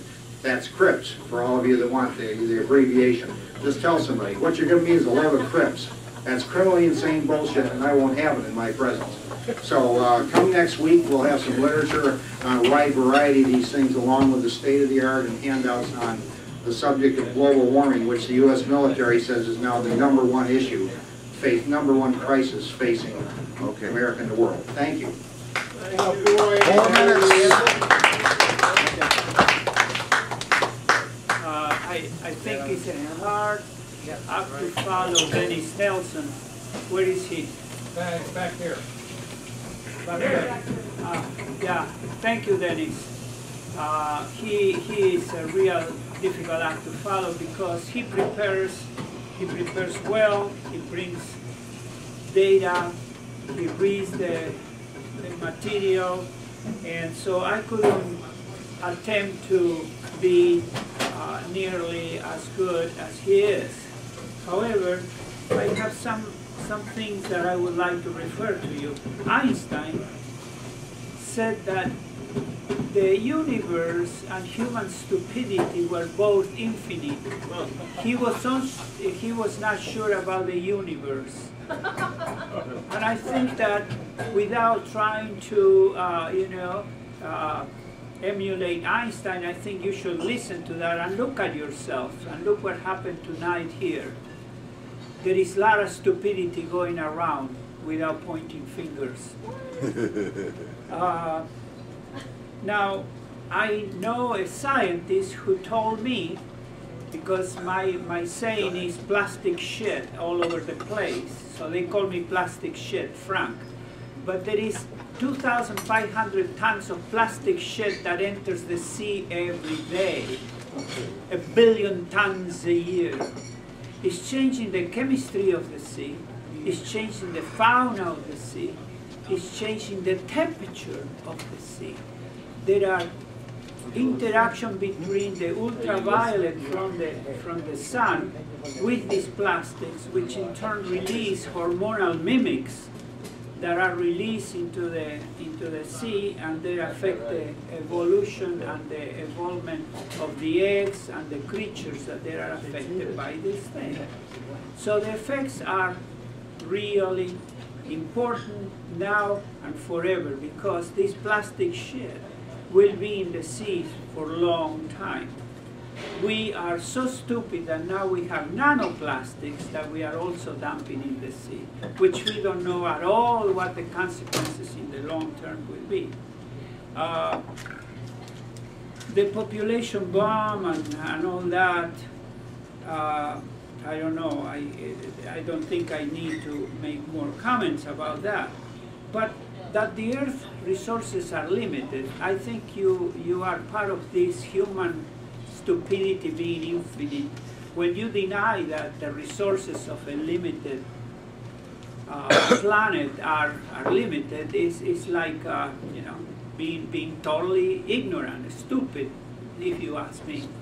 Uh, the fact that people think about going and mining uh, other uh, planets or other bodies on the system doesn't take in consideration that in order to go up there, you need to use a lot of energy. And you need to use a lot of minerals, a lot of materials, a lot of human efforts and all that. So you are going to go and load a little spaceship with some, maybe a ton of shit from there and bring it back to Earth without having any idea of the cost that this brings. Now, when you get out of the solar system, you get all kinds of radiation, cosmic rays and all that. So life is not going to be friendly for anybody to go up there. But we are planning to, if we, if we run out of iron, we are going to go and get it somewhere. Uh, Imagine a spaceship, uh, a little a little tin can going there, landed there, and the, the guys with shovels put some iron in there and bring it back. This is part of a type of idiocy that is fomented by idiots and eaten up by idiots. It's no other, no other explanation. Uh, the dams. To do a, a water dam and uh, a water dam have a life.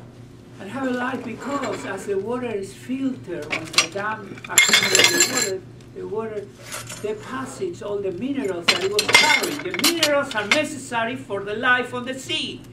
But we capture it in the dams. So we kill the sea to have a dam that it have a life, an average life of about 100 years. Because after 100 years, it's full of shit. All the minerals that should be in the sea, the dam is no good. So for a hundred years of having some fucking electricity that is not doing no fucking good, we are killing the life on the sea. This is insane. The Chinese have polluted the Yellow River and the Yangtze River beyond recognition, and they dumping mercury, cadmium, chromium into the sea, killing the life, the fisheries that they need to survive. So we are, we are totally. Okay, I'd like to remind you that you're over time, Frank. Okay, one point. Every second, the sun deposits 750 terawatts of energy into photosynthetic materials and converting that energy into chemical energy. That chemical energy every second feeds all life on Earth. But the weight of that energy converted into sugars, chemical energy, weighs 1.4 grams. And that feeds all life on Earth. Think about that.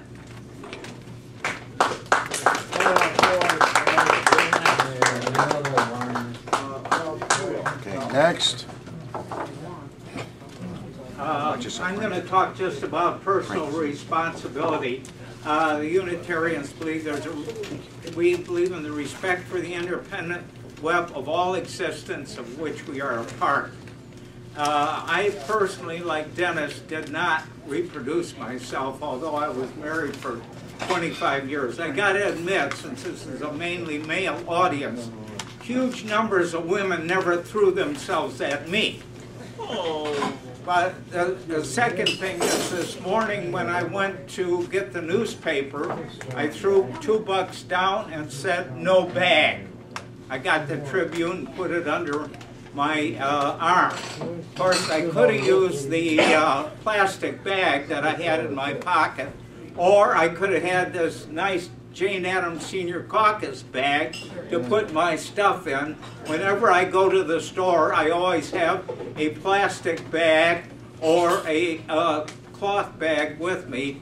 Uh, and almost always the ones that, uh, the thicker ones. So that's another thing you can do. And the third thing I do is that I walk a lot. Of course, I gotta admit that I had a car until 1995 when my eyes went bad. But I do use public transportation a lot, and I walk a lot, and that's really good for you.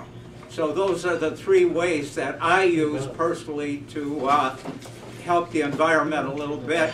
Now, I admit with the Tribune, I could probably watch it on the computer, but I'm not very competent. But you can do that, and of course, when I get done with that Tribune, I will, I will recycle it. Thank you. Bill, four minutes. Bill when? Uh, 1967, John Kenneth Galbraith came out with a book called The New Industrial State. And he uh, distinguishes between what he calls the mature corporation and the, well, um, well, he says it's a, uh, I guess a market corporation. Uh, really, think about the mature corporation, it said it's very heavily subsidized.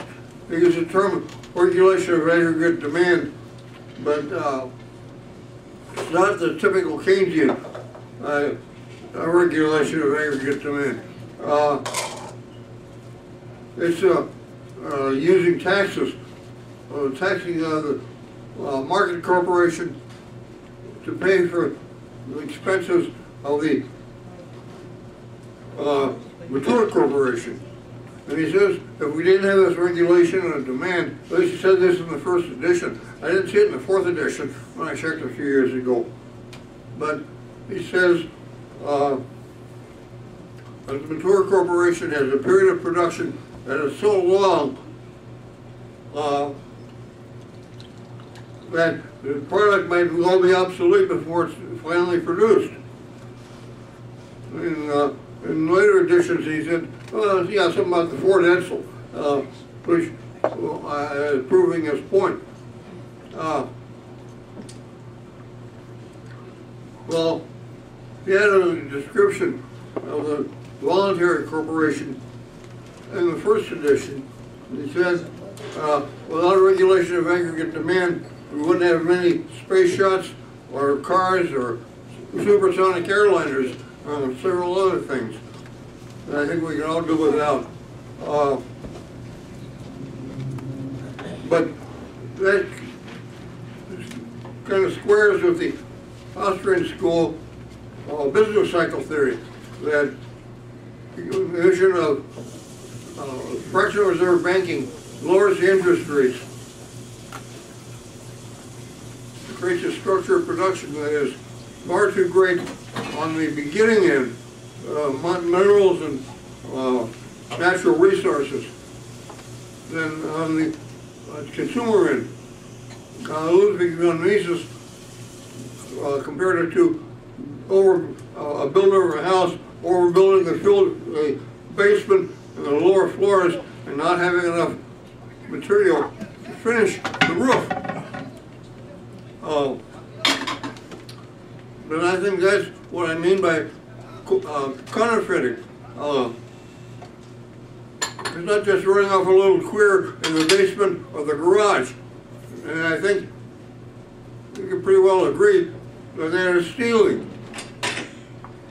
Uh, but the Federal Reserve, that's what the Federal Reserve is for. Uh,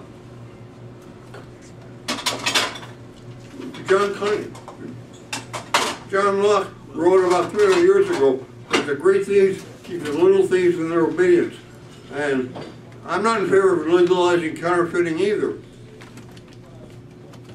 Okay. All right, And Jonathan Barton. four minutes. Uh, Henry Thoreau wrote in Walden, When I looked across the pond from this peak toward the Sudbury Meadows, which in time of flood I distinguished elevated perhaps by a mirage in their seething valley, like a coin in a basin, all the earth beyond the pond appeared like a thin crust, insulated and floated.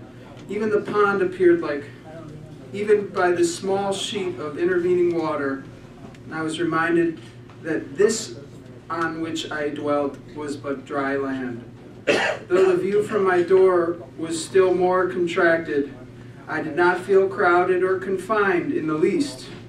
There was a pasture enough for my imagination. Um, we're 5% of the Earth population in the United States, but we have a 25% of greenhouse gas emissions. So to reduce our carbon footprint would just be acknowledging that we aren't 25% of the planet. So I don't really think that's a partisan issue. I think that's just a common sense issue. Um, we want fast food, fast clothes, fast markets, fast travel, fast development, and we're relentlessly propagandized by an industry of never-ending greed that this is normal, and we're groomed to think that, you know, this is the new way that it is, and not only should we expect fast life, but almost instant life. Um, problem is that we also are then told, but before you do that, we the established, we the one percenters, we also need our war and our secrecy and our profits and our privilege and our influence and our power, which is code for totalitarian, totalitarian decided resource access and repression and so on, which then asks the question to all of us, um, is there such a thing as fast anything when it's not in accordance with peace, equality, democracy, transparency, justice, respect for Mother Earth, and preserving, cultivating, and nurturing the air, the land, and the water? Does it really exist, or is that just a mirage that we're sold over and over again? Um, we have a fork in the path every day where we can choose a first mass solidarity instead of a sixth mass extinction. Um, the world would breathe a sigh of relief that we, with our diligence and our courage and our creativity and our solidarity, uh, decided that the long-term solutions that are there are ones that we're going to take leadership on. Uh, just like Thoreau uh, discovered, there's a pasture enough for our imaginations of we the people. Um, this is the preamble for the Universal Declaration of the Rights of Mother Earth. We the people and the nations of Earth, considering that we are part of Mother Earth, are indivisible living community of interrelated and interdependent beings with a common destiny. Gratefully acknowledging that Mother Earth is the source of life, nourishment, and learning and provides everything we need to live well, recognizing that the capitalist system and all forms of depredation, exploitation, abuse, and contamination have caused great destruction, degradation, and disruption of Mother Earth, putting life as we know it today at risk throughout phenomena such as climate change. Convinced that an interdependent living community is not possible to recognize the rights of only human beings without causing an imbalance with Mother Earth. Affirming to guarantee human rights, it is necessary to recognize and defend the rights of Mother Earth and all beings in her, that there are existing cultures, practices, and laws that do so. Conscious of the urgency of taking decisive collective action to transform structures and systems that cause climate change and other threats to Mother Earth. We proclaim this Universal Declaration of Rights of Mother Earth and call on the General Assembly of the United Nations to adopt it as a common standard of achievement for all peoples and all nations of the world, and to end that every individual and institution takes All right. responsibility for promoting through teaching, Okay. education, consciousness, raising respect for the rights recognized in this declaration, and ensure through prompt and progressive Okay. measures and mechanisms, national and international, their universal All right. and effective recognition and observance amongst all peoples and states in the world. You can read the rest of it in the Time. back. Thank you to the speaker. Uh, we're, we're got a num- Runs a tight ship. Raj Patel. My name is Raj Patel. we only running a tight ship, Charlie, to myself. give everybody an a- adequate chance. Go ahead, I'm sorry. Okay. Uh, for uh, for a China thing that uh, China has more pollution than we have. You know, if you take uh, one American equal to five Chinese, that's true. But per person, America is the greatest polluter in the world because we spend 25% of the world's energy and we have a very small population, 42%. Uh, I, I don't understand. Speaker, speaker did a good job. He is very knowledgeable. However, I, I have one fault. When speaker comes here and throws lots of tons of names that I cannot comprehend or don't know or cannot remember or cannot make a reference to context, you know, then then it gets lost. I mean, amount of knowledge he had, he could have uh, still focus on a problem, and uh, we would have learned a lot more. But a world problem, it's a very, it's not that complicated. We gotta stop making babies and eat vegetarian food. And we reduce population by fifty percent and our problems are solved. I mean, we don't have to talk and this and this and moral, be moral about it. You can be immoral, but you know, hey, don't eat vegetarian from tomorrow, and it will be nice. You know, stop making baby. In my family, if anybody makes more than two babies, they get a call from me. You know, he said, what's, what's up? What's going on? Okay? Uh, as far as uh, that uh, criticism on, on Hillary, uh, you know, these three people, Biden, Hillary, and, and Sanders, they've been in politics for a long time, all their life. If they wanted to solve this problem, they could have solved it. And what they're bitching now, I mean, they're talking about, because they want to be president. Come on, give me a break. You didn't do the job. You know, and so people should tell them in their own face. You know, where was Sanders for all? 15 years, Where was he? How come he did not do anything in a Congress which is big enough? You know, Vermont weather is too nice to enjoy. It's the Hillary guy. And, and yeah, I'm a Hillary guy, but I mean, you know, I, I don't give her a pass either. The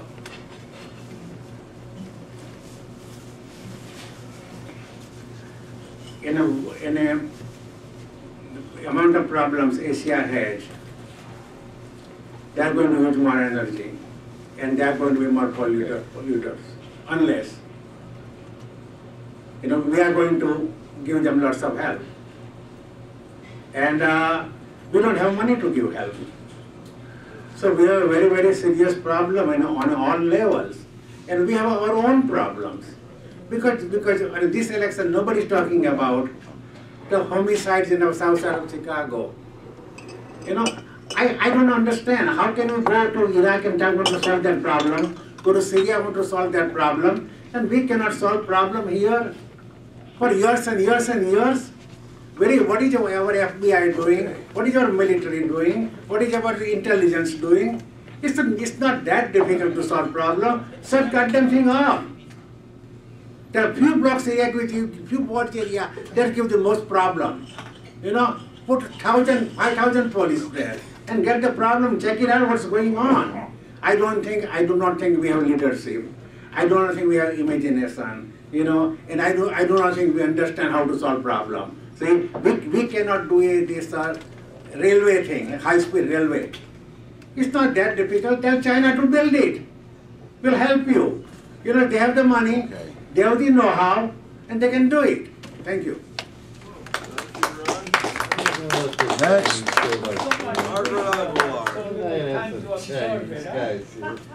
Okay, Margaret, four minutes. Oh, Margaret, you have to listen to her, otherwise I could beat up. Okay, um, I'm gonna answer Karina's question. Um, the number of children depends on a lot of things. Um, in, um, the developed world, um, it, it, we have the tech, technology available, and actually, research in India, in the, in the provinces that were able to reduce the number of children, average number of children per family, they identified three characteristics that were, that were critical to this happening. One is that, um, is the education of women, which translates a little bit into empowerment of women, because women can then do jobs and be economically, um, provide part of the economic support, which uh, makes her a little more equal within the relationship. The second is accessibility of, of uh, reproductive health care. And that's not only contraception, but that's also abortion services. All of those things should be available to women. And the third is the expectation that the children would survive. It's not at all uncommon in third world countries where there's no health care, the vaccination rates are low, um, the, um, it, there's a lot of accidents because of bad roads, et cetera, et cetera, et cetera, that you have ten children and one or two survive to adulthood. So that is gonna determine how many children a woman will have if, if it's possible for her to have. They also don't have social security, so you need children to take care of you when you're old. So they, they want to make sure that at least one or two survive, and that's one of the things that happened. Now, what happened here before uh, we had decent contraception was that women got abortions. And uh, the, even though it was illegal. Um, But until the 1930s, it was really pretty accessible for women. They had abortion clinics, they had doctors running um, uh, clinics that were, they, they, they were regular doctors, it wasn't a- that big of a deal. And of course, it cost some money, but, um, it, wasn't anything that the police would prosecute unless the, uh, unless something happened to the woman. And most of the time it didn't, because they realized the value of, um, uh, sterility in your instruments and all those lovely things. So uh, what happened is, is that poor women would then have abortions after they had the number of children that they wanted. And wealthy women would have abortions early in their marriage, and then later on, when they'd settle down, they'd have two or three kids. So that, that's what would happen. The only confounding factor, and I do that, mean that in more ways than one, was religion, which wanted to control women and control people.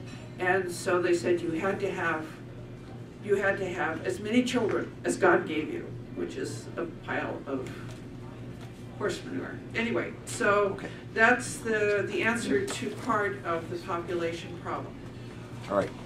I want to go next real quick, so I don't, I, I got some things I want to quote on my laptop before the battery. Good night. Bolger. Okay. You know, when I look at the environmentalist movement and the, uh, in fact, hang on. Another one of your cards, man. What? When I look at the environmentalist movement and my own views, it is amazing how much I find I am in agreement with Dennis on a number of fundamental precepts. You know, I do agree that we need to clean up our environment. I do know that we need to clean up our, our air, our water, and our things, and I also too agree that we need to cut down on our population. Where it's in the methodology that I disagree. Margaret brings up a good point about developed countries not having enough, not getting a reduction in the population rate. That's because, yeah, and that's because those countries are developing. You're right, women's rights are promoted, uh, contraception, education, and eh, according to a recent CIA study, they proclaimed that once you reach a threshold income of, I believe it's about eight thousand dollars per person or per capita, that's when you start seeing the reductions in the rate of population. Now, I have seen this myself, that when we would start adopting a lot of uh, populate, a lot of these reductionist policies, that a lot of our pro-nuclear, I mean anti-nuclear people adopt, it's kind of crazy because in a sense, I also agree with you too, that our present way that we do nuclear power is, is quite, quite uh, contrary to what we know. I'm going to quote from you a gentleman by the name of Alvin Weinberg, who was a doctor at Oak Ridge, who basically said the same thing that I'm saying, was actually fired in, um, in Congress for it. His name was Alvin Weinberg, and he was the director of Oak Ridge National Laboratories for well over 18 years, and he was fired by a director by the name of Andy Shaw because of his views on the present-day light water reactor that we have commonly used all over the world. He said, we nuclear people have made a Faustian bargain with society. On the one hand, we offer in a catalytic nuclear burner an inexhaustible supply of energy, even in the short range when we use ordinary reactors. We offer energy that is cheaper than energy from fossil fuels. Moreover, this source of energy, when properly handled, is almost non-polluting. And notice he says when properly handled. Whereas fossil fuel burners emit oxides of carbon, nitrogen, and sulfur, there is no intrinsic reason why nuclear systems must emit any pollutant except heat and tracers of radioactivity. when you talk about nuclear waste, what you don't understand is that a lot of, one of the reasons we have waste is that it's not recycled and reused. There's a lot of things like medical isotopes. There's a lot of things that the new technology can do. And we already ran what we call the molten salt type of reactor for well over 6,000 hours in the 1960s, which I believe will be powered by thorium, which I believe will be the fundamental source for power in the next century. If we don't do it, the Chinese certainly will because they now have 300 people plus working on that very problem. And the head of the, the project was the son of the last Chinese premier, and the U.S. Department of Energy is working well with them to develop these reactors because personally they could, I believe, save the planet. Yes, there is going to be some radiation involved. Yes, there will be, but that's a price I think we can manage to live with. My main reason for supporting nuclear? An entire person's lifetime of power could be represented by a ball of thorium this big. That includes your airplane use, your computer use, your other uses of energy. And when you consider that in the aggregate usage of energy supply, a simple phone like this, or perhaps that smartphone you use, in the, in the aggregate, when you consider all the servers and everything else, uses about the same amount of power as a refrigerator would. We've got some serious need for some serious base electrical power. And even without, even with the substandard reactors that we're using from the 1970s now, the first commercial one went into operation in 1958. It was at the Shippingport Nuclear Facility, but I think I could go on and on forever. My time is just about up. I support the environmental movement, but I believe the best way to bring that environmentalist movement to bear is through the, a lot more use of power. You need power to recycle. You need power to desalinate water. You need power to do it. And the only way that I really see the large-scale usage of electric power and electric power distribution is through the use of nuclear. Renewables aren't gonna cut it, because if you look at even like a Facebook data center, all the output of Hoover Dam only powers four of them. Thank you.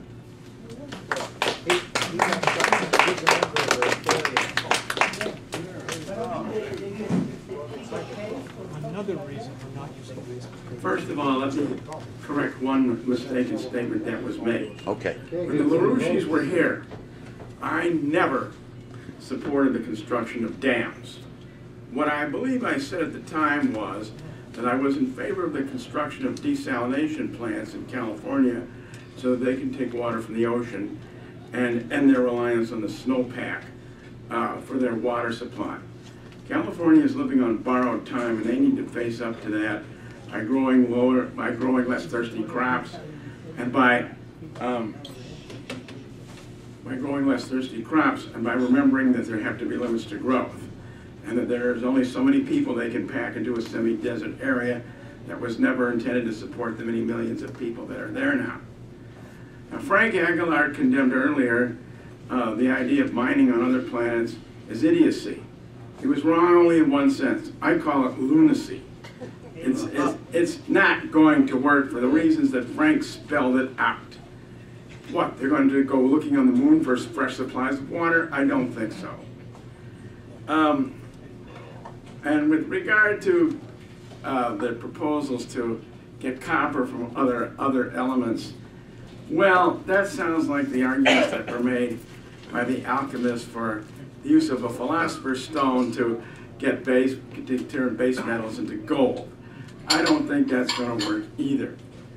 And finally, with regard to the issues of nuclear power, you've all heard me say this before. That isn't going to stop me from saying it again. In 1970, when I was a freshman at Evanston Township High School, Commonwealth Edison was busy building its nuclear plant up in Zion, which is now being effectively decommissioned. And these folks promised us generations of cheap electricity and generations of cheap electricity. And you saw all those commercials with that little light bulb figure that was also like a bird saying, Little Bill. Well, not so little now.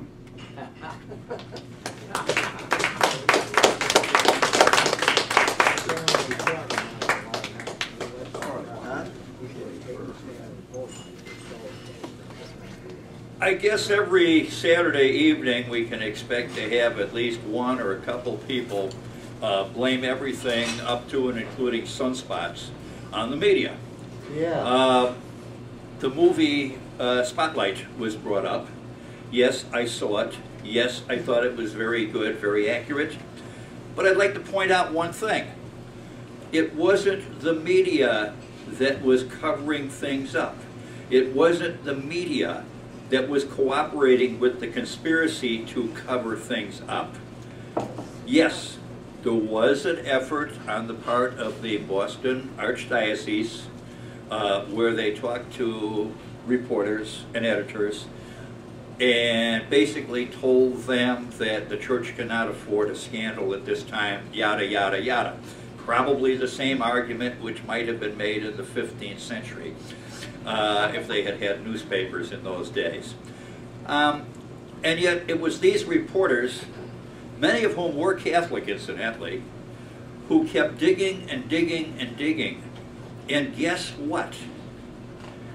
This led to convictions. Something that in Boston, Massachusetts, you'd never expect to see a priest sent to jail for something like this. You'd never expect to see, and they touched on it uh, when they had the scenes there with uh, Cardinal Law. Now, Cardinal Law was about to be subpoenaed before a grand jury. It would be the first time that a Catholic cardinal in the United States had been subpoenaed uh, for possible criminal action. What happened? Not the media, you know, not the old boys club in Boston. Rome suddenly saw the need to call cardinal law to uh, a new position in the Vatican. Why? Because the Vatican is an independent country. Uh, if you want to uh, arrest someone there, you have to have the permission of the authorities, just as if you'd want to arrest someone in the United States. You'd have to have the uh, permission of appropriate authorities here. So law is over there. He holds a high position. And for those of us who were aware of the situation, you will remember when uh, Pope Benedict uh, resigned and they had this, uh, one of the ceremonies uh, investing the new Pope. Guess who was on the altar? Bernard Law. And because there are ladies present, I won't say what I and a couple friends of mine said when we saw him while we were watching this on TV. Why not? Uh, I don't want to drop the F-bomb here. They can handle it. Okay. Point of the matter is, use your imagination. The point of the matter is, it's not the media that covers things up. Oh. Now, you keep, you keep talking, all right, but it's the media that, that dug into this and finally got out the truth, okay? One example, you keep talking about how the media will, will present one point of view and then they'll, they'll go after the other points of view. That's our job. Any editor worth his salt, if you turn in a story and it's a one-sided story, I got news for you. You're going to be told by the editor, go out and get the other side. I don't care how absurd the other side is, go out and get it. In the interests of fairness, balance, whatever you want to call it, it's standard operating procedure. We assume that the average reader who reads some of our better newspapers will understand what this is all about. Because if we don't do it, then we're going to be accused in other forums, not this one of course, we're going to be accused in other forms uh, of uh, not giving equal time and equal space to other opinions. One of these days, here at the College of Complexes, maybe we ought to have a meeting uh, with discussions, pro and con, on the mass media. And I have just been given the time to quit sign, and uh, we'll talk about this later, I hope. Okay. You will hear more distinguished uh, rebuttals uh, shortly. Okay. But uh, I uh, remember reading a book called The Acquisitive Society by R.H. Tawney. I think it was written in the 1920s. Anyway, he was a Christian socialist. Uh, historian, academic, good right. academic uh, degrees and so on. But uh, he, uh, he pointed out that not only did capital, uh, the capitalist society accumulate capital, and uh, but it also made people try to accumulate everything else. It's got to sell. Selling is the ma- major uh, business of the market, of, of uh, capitalism generally. Uh, you've got to make people want things, and uh, they, the, maybe uh, humanity is not infinite, but wants are human wants. And one of the great wants is to be recognized as being at least as good as somebody else, probably a, a little distinctive uh, and having a few marks better. And now that doesn't necessarily mean that you have to have Nike uh, sneakers, but you also have to have uh, Air Jordans. And uh, there's one way or another to sell something that's a little better. Uh, you have all these iPhones, Blackberries. Uh, uh, Okay. It, it just does not All right. stop. Brom, we're gonna have to, we're gonna have to cut her off because we- we're Yes, running out well, of time. we can't, without. Karina, do you need, do you need a few minutes? All right. Okay, because it's about eight thirty-seven. Dennis, are you ready to rebut? Well, make it real quick because it is eight thirty-seven and let's uh, get Dennis up there. No? Everybody was within about four minutes over. I'll make one. Okay, go ahead, Karina.